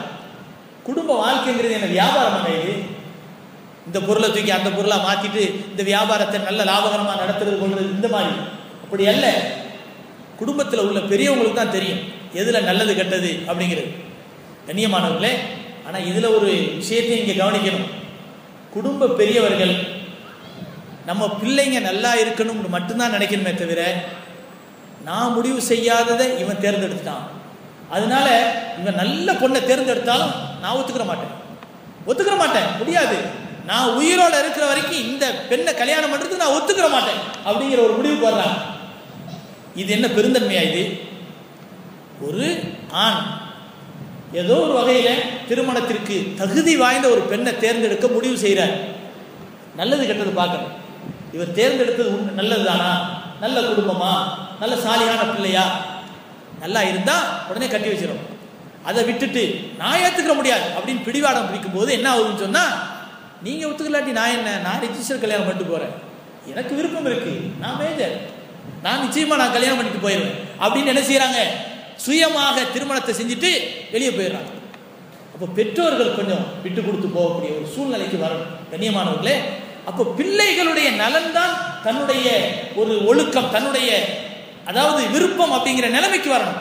இங்க சுய கௌரவத்துக்கு இடம் கொடுத்துக்கிட்டு நான் முடிவு செய்யாதது அவன் எப்படி தேர்ந்தெடுக்கலாம்? நான் ஒத்துக்கிற மாட்டேன். அப்படின்னு மாதிரி வந்தாங்கன்னு சொன்னா நானா நீனாங்கிற மாதிரி பிஞ்சு போயிடும். குடும்பம் என்ன செஞ்சிடும் பிரிஞ்சு போயிடும். இப்போ ஒவ்வொரு இடத்திலையும் நம்ம இங்க கவனிக்க வேண்டிய விஷயம் என்னன்னு சொன்னா விட்டு கொடுப்பவன் கெட்டு போவதில்லை. அப்படிங்கிற ஒரு பழமொழிக்கு தோதுவா நம்ம வாழ்க்கையை அமைச்சுக்கிறோம். கண்ணியமானவர்கள் இதுல ரொம்ப முக்கியமா கவனிக்க வேண்டியது கணவன் மனைவி. மனைவி கணவன். இவங்க ரெண்டு பேருக்கு மத்தியில் இருக்கக்கூடிய அரசல் புரசலான பிரச்சனைகள். இதுக்கு மத்தியில பேசி தீர்க்க வேண்டுமே தவிர அதை பேசி பேசி பெருசாக்குறதுங்கிறது வந்து இன்னைக்கு பெரும் பிரச்சனைக்கு காரணங்களாக மாறிவிடுகின்றன என்பதை நாம் உண்மையிலேயே இன்னைக்கு நடக்கக்கூடிய பெரும் பெரும் பிரச்சனையினுடைய அந்த கண்ணோட்டத்தை வைத்து பார்க்கும்போது புரிந்து கொள்ள முடிகிறது. கண்ணியமானவர்களே அடுத்து இவங்க ஹஜி ஹதீஜா அம்மையார் ரலி அல்லாஹோ அன்ஹா அவர்களும் சல்லல்லா அலிவசலம் அவர்களும் வாழ்ந்த வாழ்க்கையில் எவ்வளோ பெரிய சிறப்பு இருந்துச்சுன்னு சொன்னால் ஒன்று அவங்க தேர்ந்தெடுத்த அந்த விஷயம். அவங்க ரெண்டு பேரும் எப்படி தேர்ந்தெடுக்கிறாங்க பாருங்க. கணவன் மனைவியை மனைவி கணவனை எப்படி தேர்ந்தெடுத்தாங்க. இதுல ஒரு பெரிய படிப்பினை. ரெண்டாவது விஷயம் என்னன்னு சொன்னா கணவனுக்கு ஏற்படக்கூடிய எந்த சூழ்நிலையா இருந்தாலும் மனைவி அதை பொறுமையாக சகித்து கொள்ள வேண்டும். கணவனுக்கு சில நேரங்களில் சில விஷயத்துல தான் நிம்மதி இருக்குது அப்படின்னு சொல்றாரு. அதுக்காக வேண்டி வேற மாதிரி போறான்னு வச்சுக்கோங்க. ஹலால் இல்லாத விஷயத்துல போறாங்கன்னா கணவன் கண் கண்ட தெய்வம். கல்லானாலும் கணவன் புல்லானாலும் புருஷன் அப்படின்லாம் நம்ம என்ன செய்யக்கூடாது? ஹராம்ல போகும்போது அது உடனே நம்ம சொல்ல வரல. சில விஷயங்கள்ல அவர் கூடுதலாக ரெண்டு ரக்கா தொழுவோன்னு நினைப்பாரு. நான் ஒரு நஃபீலான நோன்பு வைக்கணும்னு நினைப்பாரு. அந்த மாதிரி பள்ளியாசலில் போய் நான் ஏத்திக்காம இருக்குன்னு நினைப்பாரு. தாடி வைக்கணும்னு சொல்லுவார் முக்கியம். அதை சொல்லணும் ஃபஸ்ட்டு தாடி வைக்கணும்னு சொல்லுவார். இது என்ன செஞ்சிடறது? வைக்கக்கூடாது. சில எத்தனையோ குடும்பம் இஸ்லாமிய குடும்பம் முஸ்லீம் என்று சொல்லிக் கொள்ளக்கூடியவர்கள் ஐந்து நேரம் தொழக்கூடியவர்கள் விழுந்து விழுந்து நெத்தியெல்லாம் கருத்து போனவர்கள் கணவன் தாடி வச்சாருங்கிறதுக்காக வேண்டியே எனக்கு பிடிக்கல. பார்க்கறதுக்கு பிச்சைக்கார மாதிரி தெரியுறாரு சல்லல்லா முகம் தோற்றத்தை எப்படி தெரியுதா? விக்கிரிசா மாதிரி தெரியுதான் பிச்சைக்காரர் மாதிரி தெரியுதான் தாடி வச்சா அப்படி தெரியுதான் கண்ணியமானவர்களே நேற்று ஒரு இடத்துக்கு போகிறேன் ஒரு நம்மளுக்கு ரொம்ப வேண்டியவர் நம்ம நம்மளுக்காக துவா செய்யக்கூடிய ஒரு நம்ம மேலே ரொம்ப உண்மையான முகபத்துள்ளோம் அப்படி தடவி கொடுத்துட்டு யாரும் சொல்கிறாங்கிறதுக்காக நீ தாடியெல்லாம் குறைச்சிடாதீ அப்படின்றாரு. நான் என்ன யாரும் எங்களுக்கெல்லாம் சொல்ல மாட்டாங்க. வைக்க தான் சொல்கிறாங்க குறைச்சா கூட வை ஏங்க இப்படி குறைக்கிறீங்கன்னு தான் கேட்குறாங்களே தவிர இப்படிலாம் சொல்ல மாட்டாங்க அப்படின்னு. இல்லை இல்லை மற்ற மற்ற குடும்பத்தில் நடக்குதுல்ல அதை வச்சு நான் சொல்கிறேன் அப்போ மற்ற குடும்பங்களில் எப்படி நடக்குது? தாடி வச்சாலோ தாடி கொஞ்சம் பெருசாக போயிட்டாலோ என்ன ஆயிடுது இங்கே பெருசாயிரு பிரச்சனை. தாடி பெருசானா?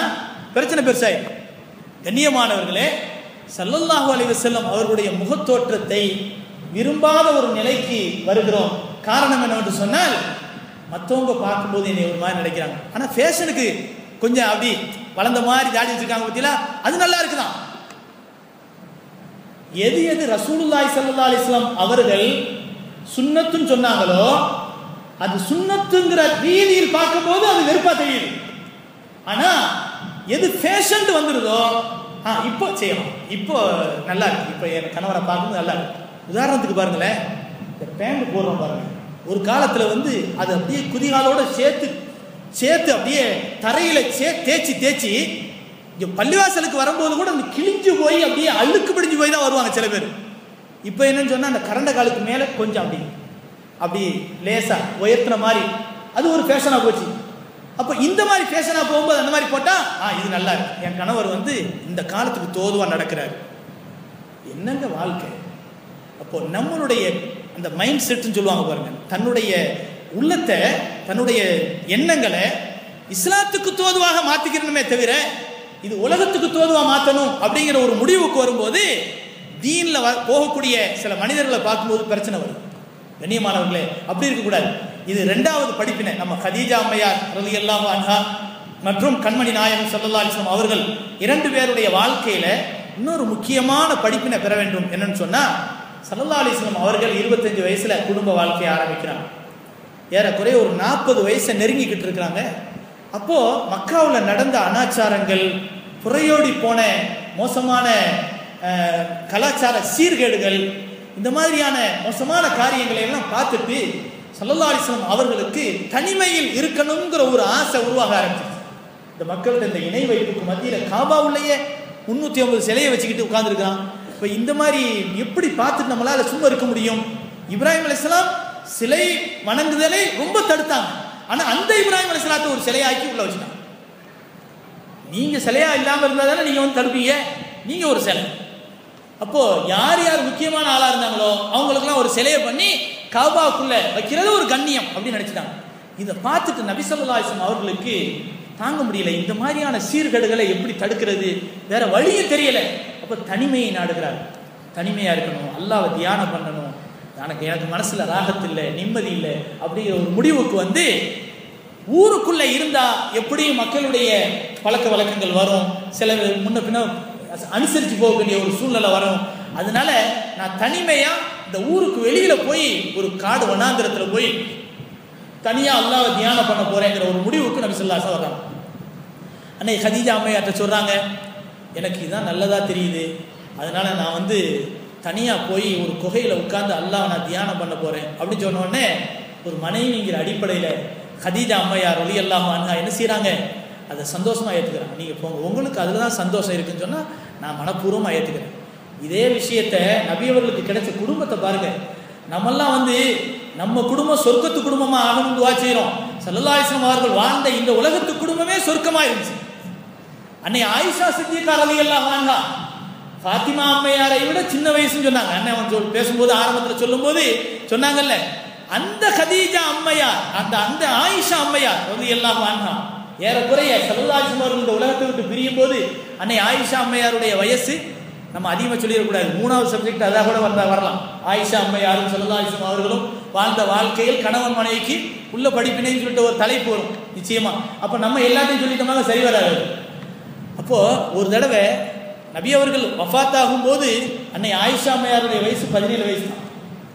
பதினேழு வயசு தான். ரொம்ப சின்ன வயசு. அவ்வளோ சின்ன வயசில் அப்போ நபி அவர்கள் ஒரு கட்டத்தில் அன்னை ஆயிஷா அம்மையார்ட்ட போய் சொல்கிறாங்க நான் இன்னைக்கு நான் அல்லாஹ் வணங்கணும்னு ஆசைப்படுறேன். இன்னைக்கு இரவு உனக்கு உன்னோட தங்கக்கூடிய இரவு அப்போ நபியவர்கள் அனுமதி வாங்குறாங்க பாருங்க. நம்ம என்ன செய்யறது இல்லை வெளியில் ஏதாவது ஃப்ரெண்ட்ஸுங்களோட சேர்ந்து ரெஸ்டாரண்ட் போயிட்டு வரேன். அப்படின்னு கூட நம்ம அனுமதி வாங்குறது இல்லை வீட்டில் சமைச்சு வச்சிருப்பாங்களே வீணா போயிருமே. வீணா போறது இல்லை அது அது ஒரு குப்பத்தொட்டி ஒன்று இருக்குது நம்ம வீட்டில் அது உள்ள தூக்கி வச்சிடலாம். ஆனாலும் என்ன செய்யறது இல்லை மனைவி எதிர்பார்த்துக்கிட்டு இருப்பாங்க. அப்படின்னு கூட நம்ம நினைக்கிறது இல்லை நல்லா சுத்திட்டு ஒரு பன்னெண்டு மணிக்கு நம்ம அழகா வரும் ஆனா நபி அவர்கள் என்ன செய்கிறாங்க அல்லாவை இரவு நேரத்துல வணங்குறதுக்கு தன்னுடைய மனைவிட்ட அனுமதி கேட்கிறாங்க குடும்பம் நல்ல சுகமா இருக்கணும்னு சொன்னா எதெல்லாம் செய்ய வேண்டியிருக்கு பாருங்க. சல்லதாசன் கேட்ட உடனே அன்னை ஆயிஷா அம்மையார் சொன்னாங்க யார சொல்லலாம்? தாங்கள் என்னோடு தங்குவதுதான் எனக்கு பேரின்பம். எவ்வளவு அழகான ஒரு ஒரு ரொம்ப நுணுக்கமான வார்த்தை பாருங்க. சின்ன வயசு ஆனா முதிர்ச்சியான பேச்சு. சொல்றாங்க தாங்கள் என்னோடு தங்குவதுதான் எனக்கு சந்தோஷம். இதுதான் சந்தோஷம். ஆனால் அல்லாவை இந்த நேரத்தில் நின்று வணங்குவது தான் உங்களுக்கு சந்தோஷம் என்றால் அது எனக்கு அதை விட சந்தோஷம். அதனால தாராளமாக வணங்க சொல்லலாம் எப்படி? கணவனுடைய சந்தோஷம் தான் எனக்கு சந்தோஷம். எனக்கு ஒரு சந்தோஷம் இருக்கு. ஆனா என் கணவன் வேறொரு சந்தோஷப்படுறாருன்னு சொன்னா அதுக்காக என்னுடைய சந்தோஷத்தை கூட நான் தியாகம் பண்றேங்கிறார் இதான் அர்த்தம். அன்னை ஆயிஷா அம்மையார் சொல்லும்போது எப்படி சொல்றாங்க? நீங்க என்னோடு தங்குறது எனக்கு ரொம்ப சந்தோஷம் யார சொல்லலாம் நீங்க அல்லாவை வணங்குறது தான் உங்களுக்கு சந்தோஷம் சொன்னா அது எனக்கு அதை விட சந்தோஷம். அதனால நீங்க தாராளமா வணங்க. அன்னைக்கு நைட்டு ஃபுல்லாக சல்லல்லா அலிஸ்லாம் அவர்கள் கண்ணீர் வடித்து தேமி தேமி அழுதவர்களாக தொழுதார்கள். தாடியெல்லாம் நனையக்கூடிய அளவுக்கு அழுதார்கள் அப்படின்ட்டு ஹதீஸில் வருது. அது ஒரு நீண்ட ஹதீஸ்னு வச்சுக்கோங்களேன். இப்போ அந்த மாதிரி சல்லாஹ் அலைஹி வசல்லம் அவர்கள் சொன்ன உடனே அன்னை ஹதீஜா அம்மையார் சொன்னாங்க நீங்கள் அன்பு கணவரே உங்களுக்கு எது பிரியமோ அதை நீங்கள் செய்யுங்க. போயிடுறாங்க. நாற்பது வயசு ஆகலை முப்பத்தொம்போது வயசு இந்த மாதிரியான வயசில் எட்டிக்கிட்டு இருக்காங்க. இப்போ இந்த சமயத்தில் சல்லல்லாஹு அவர்கள் ஹீரா என்ற அந்த குகை ஜபலு நூர் அதாவது இக்ரா என்ற அந்த முதல் ஆ, வசனங்கள் அந்த பேரொளியோடு இறங்கியதன் காரணத்தினால் அந்த மலைக்கு பேரே என்ன பேர் இன்னைக்கு? ஜபலு நூர். பேரொளி மிகுந்த அந்த மலை அப்படின்னு அர்த்தம். இப்போ அதில் வந்து ஹீரா குகையில் செல்லல்லாசிம் அவர்கள் என்ன செய்கிறாங்க போய் தங்கியிருக்கிறாங்க. உங்களில் பல பேர் என்ன செஞ்சிருக்கலாம் உம்ராவுக்கு போயிருக்கும் போது அங்கே ஏறி போயிருக்கலாம். ஒரு ஒன்றரை மணி நேரம் ஏறணும் மேலே. மேலே ஏறி போனால் உச்சிக்கு போய் அதுக்கப்புறம் கொஞ்சம் கீழே இறங்கணும். கீழே இறங்கி குறுகலான பாறை. குறுகலான இந்த பக்கம் பாறை இந்த பக்கம் பாறை. நம்ம வந்து கொஞ்சம் சைஸில் கொஞ்சம் முத்தியாக உள்ளவங்க இப்படி போயிட முடியாது. என்ன செய்யணும்? இப்படி தான் போகணும். அந்த பாறைக்கு இடையில போகும்போது எப்படி போகணும்னா இப்படி தான் போகணும். அந்த அளவுக்கு அப்படியே நெரிசலோடு உள்ளே போய் நுழைஞ்சி போனால் ஒரு குகை. அதில் ரெண்டு பேர் உட்காந்துருக்கோம் ரெண்டு பேரும் நஃபீலான தொழுவ உட்கார்ந்து தொழுவலாம் அந்த மாதிரி. அந்த குகைக்கு நேராக பார்த்தா இன்னைக்கு வந்து ஜம்சம் டவர் தெரியுது. அந்த கிளாக் டவர் இருக்கு பாருங்க அது தெரியுது. தவாப் செய்யும்போது அதை பார்த்துட்டு தானே தவாப் செய்யணும் இன்னைக்கு என்ன ஆச்சு நிலைமை? ஒருக்கு நேரம் வந்து காபா மட்டும் தான் பார்க்க வேண்டிய காபாவுடைய பேரழகு எவ்வளோ அழகான பேரழகு. சல்லல்லாஹு சொன்னாங்கல்ல தவாப் செய்யும்போது காபாவே நீ எவ்வளவு அற்புதமான அழகு மிகுந்ததாக இருக்கிறாய். உனக்கு உன்னுடைய வாசனை எவ்வளவு அற்புதமான வாசனை. நீனோ பெரும் கண்ணியம் மிகுந்த ஒரு காபாவாக இருக்கிறாய். ஆனால் ஒரு மூமியினுடைய கண்ணியம் உன்னுடைய கண்ணியத்தை விட மேன்மையானது. அப்படின்னு சல்லல்லாஹு அவர்கள் காபா பார்த்து சொன்னாங்க. அப்படின்னு ஹதீஸ்ல வரும். தவாப் செய்யும்போது. ஆனா இன்னைக்கு ஃபோனில் கையில் ஃபோன் கையில் ஃபோனை வச்சுக்கிட்டு அப்படியே என்ன செய்யணும் அப்படியே கிளாக் டவரை எடுத்துக்கிட்டு அப்படியே தவாப் செய்யணும் இதுதான் இன்னைக்கு உள்ள ஃபேஷனாக போச்சு. இப்போ அந்த மாதிரி அங்கே ஹீரா குகையிலேருந்து பார்த்தா காபா தெரியும். அன்னைக்கு உயர்ந்த கட்டடங்கள்லாம் கிடையாது. வெறும் காலி இடங்கள். அங்கேருந்து பார்த்தா காபா தெரியும். சல்லல்லா அலிஸ்லாம் அவர்கள் தியானம் செய்தார்கள். காபாவை முன்னோக்கியவர்களா? அப்போதான் இத்ரா சூரா அந்த ஆறு அஞ்சு ஆயத்துகள் இறங்குனுச்சு. இப்போ இந்த இடத்துல நம்ம படிப்பு பெற வேண்டிய படிப்பினை இந்த இது ஒரு நீண்ட சரித்திரம். நமக்கு நோக்கம் வந்து சரித்திரத்தை சொல்வதில்லை. இதன் மூலமாக நமக்கு கிடைக்கக்கூடிய படிப்பினை என்ன? ஒன்றரை மணி நேரம் நம்ம கீழேந்து மேலே வரைக்கும் ஏறி நபிசல்லா அலிஸ்லாம் அவர்கள் தவம் செய்த இடத்துக்கு போகணும். அது கிடையில பல இட ரெண்டு மூணு இடங்கள்ல டீ கடையெல்லாம் வச்சிருக்காங்க. நிறைய டீ கடை பிஸ்கட்லாம் வச்சு கொஞ்சம் ஓய்வு எடுத்துக்கிட்டு டீலாம் குடிச்சிட்டு அங்கே மெத்தையெல்லாம் போட்டுருக்காங்க இப்படிலாம் சாஞ்சி உட்காந்துட்டு எல்லாம் என்ன செய்கிறோம் ஓய்வுலாம் எடுத்துட்டு போகிறோம் இப்போலாம் வந்து அந்த பாகிஸ்தானிகள் என்ன செய்கிறாங்க காசு வாங்குறதுக்காக வேண்டி அந்த படிக்கட்டை கொஞ்சம் கொஞ்சம் நல்ல சிமெண்ட் போட்டு சரி பண்ணி வச்சிருக்காங்க கொஞ்சம் ஏறுற மாதிரி. ஆனால் அந்த காலத்தில் படிக்கட்டும் இல்லை டீ கடையும் இல்லை ஓய்வெடுக்கிறதுக்கு மெத்தையும் இல்லை கரடு முரடான பாதை தான். அன்னை ஹதீஜா அம்மையார் என்ன செய்வாங்களாம் வாரத்தில் ஒரு நாள் பன்னெண்டு மணிக்கு மேலே நடுநிசி நேரத்தில் தங்களுடைய பாத்திரத்தில் உணவுப் பொருட்களை எடுத்துக்கிட்டு நபி அவர்களை பார்க்கறதுக்காண்டி போவாங்க நபி அவர்களை பார்க்கறதுக்காண்டி போவாங்க நீங்கள் ஏன் பகல் நேரத்தில் போகக்கூடாதுன்னு சில பேர் கேட்கும்போது சொன்னாங்களாம் என்னுடைய கணவரின் காரணத்தினால் அந்தஸ்து மிகுந்த செல்வாக்கு படைத்த கதீஜாவை இப்படி கஷ்டப்படுத்திட்டாரே. இந்த முகமது அப்படின்னு என் கணவரை பார்த்து யாரும் என்ன செய்யக்கூடாது? கேவலமாக கூட பேசிடக்கூடாது அப்படின்னு சொல்லுவாங்க. நான் நடுநிசி நேரத்தில் போகிறதுக்கு காரணம் என்னன்னு சொன்னால் யாரும் நான் போகிறத பார்க்கக்கூடாது. என் கணவருக்காக நான் படுற கஷ்டத்தை யாரும் பார்க்கக்கூடாது. அதனால தான் நான் அந்த நேரத்தில் போகிறேன் அப்படின்னு சொன்னாங்க. கணவருக்கு இவாதத் அடிப்படையில் ஒரு விஷயம் பிரியமானதாக இருக்கிறது என்று சொன்னால் மனைவி அதை பொருந்திக் கொள்ள வேண்டும். மனைவி அதை பொருந்திக் கொள்வது என்பதுதான். ஒரு நல்ல மனைவியினுடைய இலக்கணம் என்பதைத்தான் சல்லல்லாஹ் அலைஹி வஸல்லம் அவர்கள் மற்றும் ஹதீஜா அம்மையாருடைய வாழ்க்கை நமக்கு சொல்லித்தரக்கூடிய அற்புதமான ஒரு பாடமாகும். சல்லல்லாஹம் அவர்கள் அந்த குகையில தங்கி இருக்கும்போது இக்ரா என்ற அந்த அஞ்சு ஆயத்தை இறங்குது. பயங்கரமான திடுக்கத்திற்கு நபி அவர்கள் ஆளாகிறார்கள். நடுநிசி நேரத்தில் ஓடி வருகிறார்கள். சல்லல்லா அலிஸ்லாம் அவர்கள் ஓடி வந்து ஹதீஜா அம்மையாருடைய வீட்டு கதவை தட்டுறாங்க. தட்டிட்டு சொல்றாங்க போர்த்துங்கள் போர்த்துங்கள் என்னால் தாங்க முடியல ஏதோ ஒரு காட்சி தெரிஞ்சு அப்படின்னு சொல்லிட்டு வேத்து விறுவிறுத்து போய் குளிருதுங்கிறாங்க வேக்குதுங்கிறாங்க என்ன சொல்றது என்ன செய்யறது தெரியல. என்னமோ செய்யுது ஆனா சொல்ல தெரியல. போத்துங்க போத்துங்கங்கிறாங்க. ஆனா வேத்து விறுவிறுத்து போய் அவங்க அங்க வர்றாங்க. படுக்க வச்சு அன்னை ஹதீஜா அம்மையார் அவங்கள தடவி கொடுக்குறாங்க. மனைவி தடவி கொடுக்குறாங்க. இங்கே நம்ம வாழ்க்கையை நினச்சி பார்க்கணும்? ஒரு கால். நான் காட்டில் போய் நானும் தியானம் பண்ணணும் ஒரு முடிவுக்கு வந்துட்டோம். போகிறோம் போயிட்டு ஒரு பன்னெண்டு மணிக்கு வீட்டுக்கு வர்றோம். என்னமோ செய்யுது. என்ன செய்யுதுன்னு தெரியல. பாய் மனுஷன் போவாதிய போவாதின்னு எவ்வளோ சொன்னேன். என்னமோ ஆவியை பிடிச்சி இழுத்துட்டு வந்துட்டாரு. புள்ள குட்டி அங்கே இருக்குது. அவர் வீணாக போய் புள்ள குட்டியை வேற பேய் பிசாசு பிடிக்கிற மாதிரி பிடிச்சி இழுத்து சொல்லுவோமா சொல்ல மாட்டோமா? பெண்கள் சொல்லுவாங்களா சொல்ல மாட்டாங்களா? ஆனால் சல்லல்லா அவர்கள் வந்ததை பற்றி என்ன செய்யலை? அன்பு மனைவி ஹதீஜா அம்மையார் அவர்களை படுக்க வைத்து போர்வையால் போர்த்தி விட்டு பக்கத்தில் உட்காந்து என்னமோ செய் அப்படின்னு போய் படுத்துடல பக்கத்தில் உட்கார்ந்து தடவி கொடுத்து சல்லல்லா கொஞ்சம் அமைதி நிலைமைக்கு வரும்போது அன்னை ஹதீஜா அம்மையார் சொன்ன சில வாசகங்கள் சுபஹான் அல்லா ஒரு மனைவி எப்படி இருக்கணுங்கிறதுக்கு ஒரு அற்புதமான ஒரு இலக்கணத்தை அன்னை ஹதீஜா அம்மையார் சொல்றாங்க. அவங்கள படுக்க வச்சு நெத்தியில கையை வச்சுக்கிட்டு சொல்றாங்க கல்லா வல்லாஹி கல்லா வல்லாஹி லா யுஹ்ஸீக கல்லாஹு அபதா கல்லா வல்லாஹி மா யுஹ்ஸீக கல்லாஹு அபதா நீங்க அப்படி ஒன்றும் தப்பாலாம் நினைக்காதீங்க. உங்களை அல்லாஹ் ரொம்ப சோதிக்கிறான். அப்படின்லாம் நீங்க என்ன செய்யாதீங்க? தப்பாலாம் நினைக்காதீங்க. அப்படிலாம் இருக்காது. அப்படிலாம் ஒன்றும் இருக்காது. மாறாக வல்லாஹி அல்லாஹி மீது சத்தியமாக மா யஹ்ஸீக் கல்லாஹ் அபதா. அல்லாஹ் ஒருபோதும் உங்களை கேவலப்படுத்த மாட்டான். இன்னக்க ல தசிலு ரஹீம. ஏன் தெரியுமா உங்களை எல்லாம் கேவலப்படுத்த மாட்டான்? நல்லா புரிஞ்சுக்கிறனே. இன்னைக்கு ஒரு மனைவி கணவன் வாழ்க்கை நல்ல சாலிகான குடும்பத்தை பற்றிலாம் இங்கே பேசலை. நம்மள்கிட்ட அப்படி ஏதாவது தவறான தவ அந்த அணுகுமுறை இருந்துச்சாக்கு மாற்றிக்கணுங்கிறதுக்காக சொல்லக்கூடிய ஒரு விஷயம். கணவன் மனைவி இருக்கிறாங்க. மனைவி வீட்டிலேருந்து யாராவது வந்தாங்கன்னு சொன்னால் விருந்து தடபுடலாக இருக்கும். கணவன் வீட்டிலேருந்து யாராவது வந்தான்னு சொன்னால் அதுவும் தடபுடலாக இருக்கும். எப்படி? பாத்திரங்கள். எப்படி வந்து சரியா அந்த மாதிரி. ஏதாவது வார்த்தைகள்லாம் வித்தியாசமாக இருக்கும். பாத்திரங்கள் கீழே விழுவும் பல மாதிரியான பிரச்சனைகள்லாம் அங்கே தெரியும். கணவன் ஒரு நல்லவராக இருந்தாருக்கு என்ன செய்வார்? இப்படி தான் இடி இடிக்குது கொஞ்ச நேரத்தில் மழை பெய்யும் பரவாயில்லை நல்லா இருக்கும் தான் அப்படின்னு போயிடுவார். பிரச்சனைக்குரிய மனிதராக இருந்தால் என்ன செய்வார்? அன்னைக்கு உங்கள் அம்மா வந்தாங்கல்ல? உங்கள் தங்கச்சி வந்தாங்கல்ல? அப்போ மட்டும் நல்லா ஆக்கி போட்டேன் எங்கள் தங்கச்சி? பிரச்சனை வந்துடும். வர்ற விருந்தாளி பார்ப்பாங்க என்னடா நம்ம வச்சு எங்களுக்கு பிரச்சனை வருது? அப்படின்னு சொல்லிட்டு அவங்க பேசாமல் சாப்பிடாம வெளியே போயிடுவாங்க. அதுக்கப்புறம் வரவே மாட்டாங்க. விருந்தாளி வந்தாதான் வீட்டுக்கு பறக்கத்து நல்லா புரிஞ்சுக்கணும் விருந்தாளி வந்தாதான் வீட்டுக்கு பறக்கத்து விருந்தாளிகளை உபசரிப்பது ஒரு மூமினுடைய குணம். சல்லல்லாஹு சொன்னார்கள் மன் கான பில்லாஹி வல் யௌமில் ஆகிர் யார் அல்லாஹ்வை மறுமை நாளையும் ஈமான் கொண்டிருக்கிறாரோ அவர் தன்னுடைய விருந்தாளியை உபசரிக்கட்டும். தன்னுடைய சொந்தக்காரங்க மட்டும் விருந்தாளி இல்ல கணவனுடைய வீட்டுக்காரங்களும் விருந்தாளி தான். கணவனுக்கு சொல்லிக் கொடுக்கக்கூடிய விஷயம் உங்களுடைய வீட்டுக்காரங்க மட்டும் விருந்தாளி இல்ல மனைவியுடைய வீட்டில இருந்து வரக்கூடியவங்களும் விருந்தாளி தான்.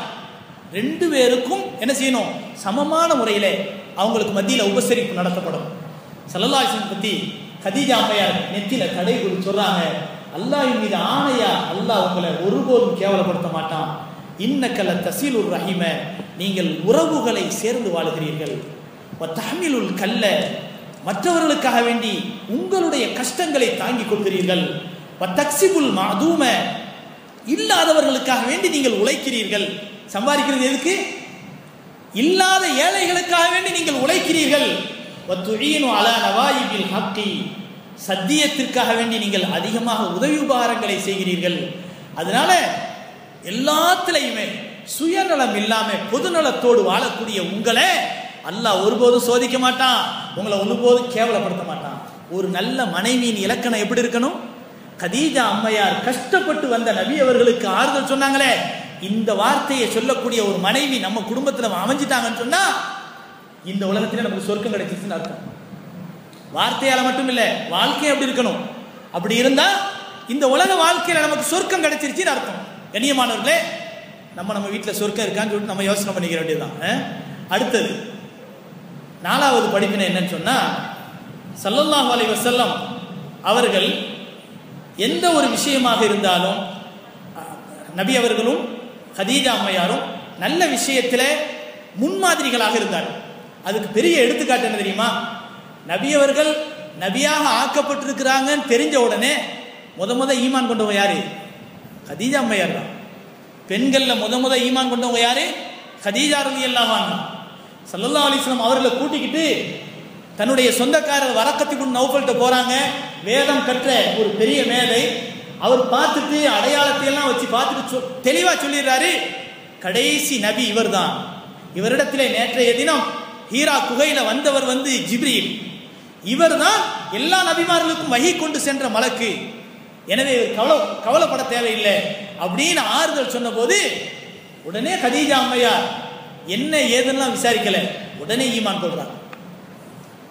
கணவன் காட்டிய அற்புதமான வழியை ஹதீஜா அம்மையார் எடுத்து நடப்பதில் ஒரு முற்போக்கு சிந்தனையுடையவர்களாக திகழ்ந்தார்கள் என்பது இன்னைக்கு இருக்கக்கூடிய நல்ல கணவன் ம- மனைவிமார்களுக்கு ஒரு எடுத்துக்காட்டாக அமைந்திருக்கிறது.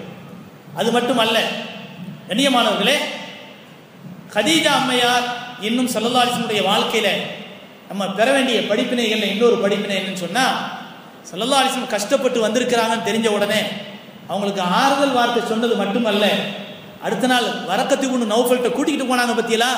அப்படின்னு சொன்னா தன்னுடைய கணவனுடைய பிரச்சனைக்கு என்ன தீர்வோ அதை ஒரு மனைவியாக இருக்கக்கூடியவர் செய்வார். மனைவியினுடைய வாழ்க்கையில் ஏற்படக்கூடிய என்ன பிரச்சனையா இருந்தாலும் அதற்கான தீர்வை கணவன் எடுப்பார். இதுதான் அவங்க வாழ்க்கையில பெற வேண்டிய ஒரு முக்கியமான படிப்பு ஆனால் நம்ம அப்படி இருக்கிறோமா? கொஞ்சம் யோசனை பண்ணி பார்க்கணும். மனைவிக்கு ஒன்றுன்னு சொன்னால் நம்ம எரிச்சப்படக்கூடாது. கணவனுக்கு ஒன்றுன்னு சொன்னால் மனைவி என்ன செய்யக்கூடாது? எரிச்சப்படக்கூடாது. சில நேரங்களில் கணவன் ஒரு நோயாளியாக ஆயிட்டாருன்னு கேள்விப்பட்ட உடனே சில குடும்பங்களில் ஆஸ்பத்திரிக்கு போய் பார்க்கறது இல்லை இன்னுமே அவரை கொண்டு எனக்கு எந்த பிரயோஜனமும் இல்லை. எனக்கு இன்னுமே அந்த வரும் மனை அந்த க- கணவர் எனக்கு தேவையில்லை. டைவர்ஸ் இது நடந்த விஷயம். இங்கே சில குடும்பத்தில் நடக்கக்கூடிய விஷயம் என்னன்னு சொன்னால் இனிமேல் என் கணவரை கொண்டு எனக்கு எந்த நன்மையும் இல்லை. நான் சம்பாதிக்கிறேன். எனவே இந்த கணவர் எனக்கு தேவையில்லை. நான் இனிமேல் பார்க்க வர மாட்டேன் மகன் மட்டும் போய் பார்த்துட்டு வர்றாரு மனைவி பார்க்குறதே இல்லை. சில நாட்களுக்கு முன்பாக சில ஒரு கேள்விப்பட்ட விஷயம்தான். நம்மளும் போய் பார்த்தோம் அந்த மனிதரை போய் பார்த்தோம். உண்மையிலேயே அப்போ சம்பாதிக்கும் போதெல்லாம் அனுபவித்து விட்டு இனிமேல் சம்பாத்தியம் இல்லை என்கின்ற நிலைமையில எனக்கு இந்த வாழ்க்கை தேவையில்லை விவாகரத்துக்கு தயார் என்ற முடிவுக்கு வந்தாங்கன்னு சொன்னா இந்த வாழ்க்கை என்னங்க? வாழ்க்கை அது இது வா- கேவலப்பட்ட வாழ்க்கை. இந்த வாழ்க்கை உண்மையான வாழ்க்கை அல்ல. அப்போ நல்லது கெட்டது எல்லாத்துலேயுமே கணவன் மனைவியாக இருப்பது தான் உண்மையான கணவன் மனைவியினுடைய அடையாளம். சொர்க்கத்தில் இருக்கும்போது மட்டும் ஹவ்வா ஆதம் ஹவ்வா கணவன் மனைவியா இருக்கல. பூமிக்கு தூக்கி எறியப்படுறாங்க. ரெண்டு பேரும் ரெண்டு மருகில தூக்கி வீசப்படுறாங்க. ரெண்டு பேருமே தேடுறாங்க. ரெண்டு பேரையும் தேடுறாங்க. கணவனும் மனைவியை தேடுறாங்க. மனைவியும் கணவனை தேடுறாங்க. எப்படி? துவா ஓதிக்கிட்டே தேடுறாங்க. கணவனுக்காக மனைவியும் துவா செய்கிறாங்க மனைவிக்காக கணவனும் துவா செய்கிறாங்க இப்படித்தாங்க உண்மையான முகப்பத்து இருக்கணும். இந்த வாழ்க்கை தான் உண்மையான சிறி சிறப்பான வாழ்க்கை. அடுத்தது கண்ணியமானவர்களே பெருமானார் ஸல்லல்லாஹு அவர்களும் கண்ம அதாவது ஹதீஜா அம்மையார் வாழ்ந்த வாழ்க்கையிலே நாம் பெற வேண்டிய படிப்பினைகளிலே ஒரு முக்கியமான படிப்பினை என்று சொன்னா மனைவியினுடைய ஒரு முகப்பத்தை என்னைக்குமே என்ன செஞ்சிடக்கூடாது? மறந்துடவே கூடாது. மனைவியினுடைய முகப்பத்தை என்னைக்குமே மறந்துடவே கூடாது. சல்லல்லாஹு அலைஹி செல்லம் அவர்களுடைய வாழ்க்கையில அன்னை ஹதீஜா அம்மையார் இருக்கிற வரைக்கும் வேற எந்த மனைவியும் நபி அவர்கள் திருமணம் முடிக்கல. எவ்வளோ ஒரு முக்கியத்துவம். அன்னை ஹதீஜா மேலே சல்லல்லாஹம் வச்சிருந்த அன்பினுடைய அடையாளம் என்னன்னு சொன்னா அன்னை ஹதீஜா அம்மையார் இருக்கிற வரைக்கும் வேறு எந்த மனைவியும் நபிசல்லா அலிஸ்லாம் அவர்கள் திருமணம் முடிக்கவில்லை.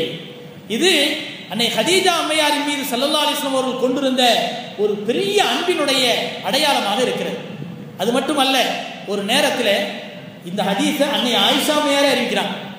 அன்னை ஆயிஷா அம்மையாரே அறிவிக்கிறாங்க. என்னன்னு சொன்னா பெருமானா ஸல்லல்லாஹு அலி வசல்லம் அவர்களுக்கு அருகிலே அன்னை ஹதீஜாவை பற்றி எப்பொழுதெல்லாம் சொல்லப்படுமோ அப்பொழுதெல்லாம் நபி அவர்கள் ரொம்ப உணர்ச்சி பூர்வமாக ஆயிடுவாங்க அப்போ ஹதீஜாவை பற்றி சிறப்பிச்சு பேச ஆரம்பிச்சிருவாங்க.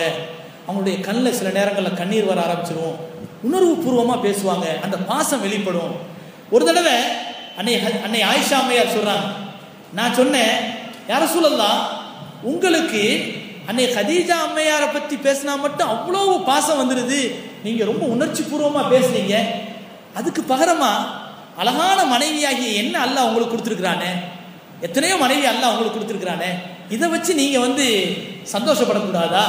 அப்படின்னு அன்னை ஆயிஷா அம்மையார் கேட்குறாங்க அப்போ பெருமானா ஸல்லல்லாஹு அலி வசல்லம் அந்த அப்படி சொல்லிட்டு அன்னை ஆயிஷா அம்மையார் சொன்னாங்க எப்போ பார்த்தாலும் அந்த கிளவியை பற்றியே பேசிக்கிறீங்களே? எப்படி? எப்போ பார்த்தாலும் அந்த கிளவியை பற்றியே பேசிக்கிறீங்களே? அப்படிங்கிற ஒரு வார்த்தையை சொல்லிடுறாங்க. சல்லல்லா அலிஸ்லாம் அவர் சொன்னார்கள் ஆயிஷா ஹதீஜாவை பற்றியா நீ கிளவின்னு சொல்ற? அந்த ஹதீஜா எப்படிப்பட்டவர் தெரியுமா? அல்லாஹு ஜல்லஷானஹு தாலா அந்த ஹதீஜா மூலமாகத்தான் எனக்கு குழந்தை பாக்கியத்தை கொடுத்தான். எல்லோரும் என்னை மறுத்த போது என்னை ஏற்றுக்கொண்ட முதல் பெண் அந்த ஹதீஜா தான். எல்லாருமே மறுத்தாங்க. என்னை வேதனைப்படுத்தினாங்க. ஆனால் ஹதீஜா தான் முத முதல்ல என்னை ஏற்றுக்கொண்டார். எல்லோருமே எனக்கு செலவழிக்கிறதுக்கு தயங்கினாங்க. ஆனால் ஹதீஜா தன்னுடைய செல்வம் முழுவதையுமே எனக்காக தியாகம் செய்தார். கண்ணியமானவர்களே நம்மெல்லாம் என்ன நினைப்போம்? ஹதீஜா அம்மையார் ஒரு பெரிய செல்வ சீமாட்டி. சல்லல்லா அவர்களை கல்யாணம் பண்ண பிறகு அப்படியே கொஞ்சம் கொஞ்சமா காசு பணத்தை எல்லாம் செலவு பண்ணி ஏழையா போயிட்டாங்க. நம்ம வாழ்க்கையில் அப்படி நடந்தா என்ன ஆயிருக்கும்? நினைச்சு பாருங்க. வந்து சேர்ந்தாரு பாருங்க. மகாராணி மாதிரி இருந்த இந்த பெண்ணை இப்படி ஆக்கிவிட்டாரு. ஆனா அன்னை ஹதீஜா அம்மையார் ஒரு வார்த்தை அப்படி சொல்லியிருப்பாங்களா? தன்னுடைய செல்வம் சொர்க்கத்தினுடைய செல்வமாக மாறி போச்சு அப்படின்னு நினைச்சாங்க. ஒரு தடவை ஜிப்ரீல் அலிஸ்லாம் வர்றாங்க சல்லல்லாஹு அவங்கள்ட்ட வர்றாங்க. வந்து இதோ ஹதீஜா கிழிந்து போன ஆடையோடு வருகிறார். அவருடைய கையில் இருக்கக்கூடிய பாத்திரத்தில் குழம்பு பாத்திரத்தை எடுத்துக்கிட்டு வர்றார். அவருக்கு அல்லாஹு சலாம் சொன்னான்னு சொல்லுங்க அப்படிங்கிறாங்க. இங்கே அன்னை ஹதீஜா அம்மையாருடைய அறிவு ஞானத்தை கொஞ்சம் யோசனை பண்ணி பார்க்கணும். நம்ம வந்து ஒரு பெண்ணை தேர்ந்தெடுக்கிறதுல இன்னொரு முக்கியமான விஷயத்தை கவனிக்கணும். இந்த பெண் ஐந்து நேரம் தொழக்கூடிய பெண்ணா? குர்ஆனை நல்ல முறையில் ஓதக்கூடிய பெண்ணா? வாழ்க்கையில இஸ்லாத்தை எடுத்து நடத்தக்கூடிய பெண்ணா? என்றெல்லாம் பார்க்கணும். அன்னை ஹதீஜா அம்மையாருடைய வாழ்க்கையில இஸ்லாம் புதுசாக தான் உருவாயிருக்கு. ஆனால் அன்னை ஹதீஜா அம்மையார் எவ்வளவு தெளிவாக இருந்தாங்கன்னு சொன்னா சுபஹான் அல்லாஹ் ரொம்ப அற்புதமான ஒரு இல்முடையவர்களாக இருந்தார்கள். ஒரு கட்டத்தில் ஜிப்ரீல் அலிஸ்லாம் அடிக்கடி சல்லல்லாஹு அவங்கள்ட்ட வர்றாங்க. அது பயமா இருக்குது. யாருக்கு? அந்த சல்லல்லாஹு அவங்களுக்கு திடுக்கமா இருக்குது. இதை வந்து பல பேர் பல மாதிரி சொல்லிட்டாங்க. என்ன சொன்னால் ஏதாவது சைத்தானுடைய கோளாறாக இருக்குமோ? ஏதாவது இப்ளீஸ் கோளாறாக இருக்குமோ? செய்வினை வச்சுருப்பாங்களோ? இப்படிங்கிற மாதிரி பல மாதிரி சொல்லி விட்டாங்க அன்னை ஹதீஜா அம்மையார் சொன்னாங்க எப்போ அந்த உருவம் வருதோ ஒரு யாரோ வர்றாங்கன்னு சொல்றீங்கல்ல அந்த உருவம் வருதோ அப்போ என்கிட்ட சொல்லுங்கிறாங்க உடனே சல்லல்லா இஸ்லாம் போ அதே மாதிரி ஜிபிலி இஸ்லாம் அந்த பிரமாண்டமான உருவத்தில் வரும்போது ஹதீஜா அம்மையார்ட்ட நெருக்கமாக உட்காந்து சொல்கிறாங்க இதோ இந்த இந்த உருவம் எனக்கு தெரியுது எனக்கு பயமாக இருக்குது அப்படிங்கிறாங்க. அப்போ ஹதீஜா அம்மையார் என்ன செஞ்சாங்கன்னு சொன்னால் சல்லல்லா அலிஸ்லாம் அவர்களை தன்னுடைய மடியில் என்ன செஞ்சாங்க சாய வச்சு உட்கார வச்சாங்க. அதுக்கப்புறம் சல்லல்லா அலிஸ்லாம் அவங்கள நெருக்கமாக உட்கார வச்சாங்க. இப்போலாம் அந்த மனிதர் இருக்கிறாரா இல்லையா? அந்த அந்த உருவம் தெரியுது. அதுக்கு பின்னால் தலையில் கிடந்த துணியை என்ன செய்கிறாங்க நீக்கிறாங்க. அல்பிதாய வன்னிகாவிலையும் இது சொல்லப்பட்டிருக்கு. தலையில் உள்ள துணியை நீக்கிட்டு கேட்குறாங்க இப்போ அந்த உருவம் தெரியுதா? இல்லை. அப்படிங்கிறாங்க. இல்லை அப்படிங்கிறாங்க. அப்படின்னா அவர் உண்மையான மலக்கு தான். எப்படி? ஒரு பெண் இன்னும் மலக்குமார்களை பற்றி சொல்லப்படலை மற்ற விஷயங்களை பற்றி சொல்லப்படலை சொர்க்க நரகத்தை பற்றி சொல்லப்படலை. இப்போதான் இஸ்லாத்தினுடைய ஆரம்பம் துவக்கம் வந்திருக்கிறது கூட மலக்கா இல்லையான்னு சொல்லிட்டு பல பிரச்சனை. அப்படிங்கிற காலகட்டத்தில் அவங்க என்ன சொல்றாங்கன்னு சொன்னா நிச்சயமாக நெருங்கி இருக்கும்போது இதெல்லாம் வந்து ஒரு மலக்கு பிர- பிரச்சனை இல்லை. ஆனா எப்போ ஒரு பெண் தலையில துணி இல்லாம முந்தானையை விளக்கி விளக்கிய நிலையில இருப்பாலோ அப்போ ஒரு கண்ணியமான மலக்குமார்கள் பக்கத்துல இருக்க மாட்டாங்க. அப்போ இப்போ காணலை அப்படின்னு சொன்னா அவங்க நிச்சயமா ஒரு மலக்கு தான் அவங்க அப்படின்னு சொல்லிட்டு தீர்ப்பு வழங்குறாங்க. அப்படின்னா எவ்வளவு பெரிய அறிவு ஞானியா இருந்திருக்காங்க பாருங்க ஹதீஜா அம்மையா. அது மட்டுமல்ல சஹாபாக்கள் ஆரம்பத்துல அல்லாவுக்கு சலாம் சொல்லுவாங்களாம். அல்லாவுக்கு சலாம் சொல்லுவாங்க. எப்படின்னு சொன்னா அத்தஹியாத்து லில்லாஹி வஸ்ஸலவாத்து வத்தய்யிபாத்து அஸ்லாம் அலைக்கு ஐயவன் நபியு. அப்படின்னு சொல்லக்கூடிய வார்த்தை இருக்கு பார்த்தீங்களா அந்த வார்த்தைக்கு பகரமா என்ன செய்வாங்கன்னு சொன்னா அந்த சஹாபாக்கள் சொல்லுவாங்களா அத்தஹியாத்து லில்லாஹி வஸ்ஸலவாத்து வத்தய்யிபாத்து அஸ்ஸலாமு அலைக்க. அஸ்ஸலாம் அலல்லா அஸ்ஸலாம் அலைக்கன்னு சொல்லுவாங்க. அல்லாஹ்வின் மீது சலாம் உண்டாகட்டும் இன்னும் நபியே உங்கள் மீதும் சலாம் உண்டாகட்டும் அப்படிங்கிற மாதிரி சொல்லுவாங்க. ஸல்லல்லாஹு சொன்னாங்களா அப்படி சொல்லாதீங்க. அத்தகையா இல்லான்னு சொல்லுங்க. காணிக்கைகள் எல்லாம் அல்லாவுக்கே உரித்தது. அப்படி சொல்லுங்க அப்படின்னா இது சஹாபாக்களுக்கு பின்னால நபி அவர்கள் சொல்லி கொடுத்த விஷயம். ஆனா முன்னாலேயே இஸ்லாம் ஆரம்பிச்ச புதுசுலேயே ஜிப்ரேல் இஸ்லாம் வர்றாங்க. நம்ம சொன்னோம்ல ஜிப்ரேல் இஸ்லாம் வர்றாங்க. வந்து சொல்றாங்க இதோ ஹதீஜா அம்மையார் செல்வத்தை எல்லாம் இழந்து ஏழையாக காட்சி அளிக்கக்கூடிய அந்த அம்மையாருடைய ஆடை கிழிந்திருக்கக்கூடிய நிலையில அல்லாஹ் சொல்லுகிறான் அவர்களை அல்லாஹ் பொருந்தி கொண்டான் அவர்களுக்கு அல்லாஹ் சலாம் சொன்னான். அப்படின்னு சொன்ன உடனே சல்லல்லா அலிஸ்லாம் அவர்கள் கதீஜா அம்மையாரை கூப்பிட்டு சொன்னாங்களாம் கதீஜா உனக்கு அல்லாஹ் சலாம் சொல்லி விட்டுருக்கிறான் அப்படின்னு சொன்ன உடனே உடனே கதீஜா அம்மையார் சொன்னாங்களாம் இன் அல்லாஹ் சலாமம் அல்லாவுக்கு நான் திருப்பி பதில் சொல்ல வாழைக்கும் சலாம் சொல்ல தேவையில்லை. ஏன்னு சொன்னா அல்லாவே சலாமாக இருக்கிறான். வமின் ஹுஸ் சலாம். அவன் புறத்திலிருந்து தான் நமக்கே சலாம் உண்டாகும் அவன் புறத்திலிருந்து தான் சலாம் உண்டாகிறது. எனவே இன்னல்லாஹு ஹுவ சலாம் வமின் ஹுஸ் சலாம் வாலா ஜிப்ரீல் சலாம் வாலைக்க யா ரசூல் அல்லாஹ் அஸ்ஸலாம் வரஹமத்துல்லாஹி வபரகாத் சொல்றாங்க அல்லாஹ் சலாமாக இருக்கிறான். அவன் புறத்திலிருந்து தான் சலாம் உண்டாகிறது. எனவே அல்லாவினுடைய சலாமை என் பக்கம் கொண்டு வந்தாங்களே அந்த ஜிப்ரீலின் மீது சலாம் உண்டாகட்டும். நபியே அந்த சலாமை எனக்காக எடுத்து சொன்னீங்களே அந்த நபியாகிய உங்கள் மீது சலாம் உண்டாகட்டும். அல்லாஹுடைய ரஹ்மத்தும் பறக்கத்தும் உங்கள் மீது உண்டாகட்டும். அப்படின்னு சொல்றாங்க. இன்னைக்கு பாருங்க நம்ம ஒவ்வொரு தொழுகைக்கு பின்னால நபியர்கள் ஓதின துவா என்ன? அல்லாஹும்ம அந்த சலாம் வமின்க சலாம் தபாரக்த யாதல் ஜலாலி வல் இக்ராம். இதான சஹீஹான ஹதீஸ். மற்றது நிறைய ஓதுறாங்க. ஆனால் அது ஹதீஸில் இல்லை. அல்லாஹும் அந்த சலாம் ஒமின்க சலாம் தபாரக்த யாதல் ஜலாலி வல் இக்ராம். இது ஹதீஸில் வருது. இதனுடைய அர்த்தம் என்ன? யா அல்லாஹ் நீ சலாமாக இருக்கிறாய். வமின்க சலாம். எங்களுக்கு ஏற்படக்கூடிய மன நிம்மதி சந்தோஷம் போன்ற சலாம் இருக்கிறதே எல்லாமே உன் புறத்திலிருந்து கிடைக்கிறது. இதை நம்ம சொல்றோம். ஆனால் அன்னை கதீஜா அம்மையாருக்கு யார் கற்றுக் கொடுத்தது? அவங்க எவ்வளோ அறிவுபூர்வமான ஒரு பெண்மணியாக இருந்திருக்கிறாங்க.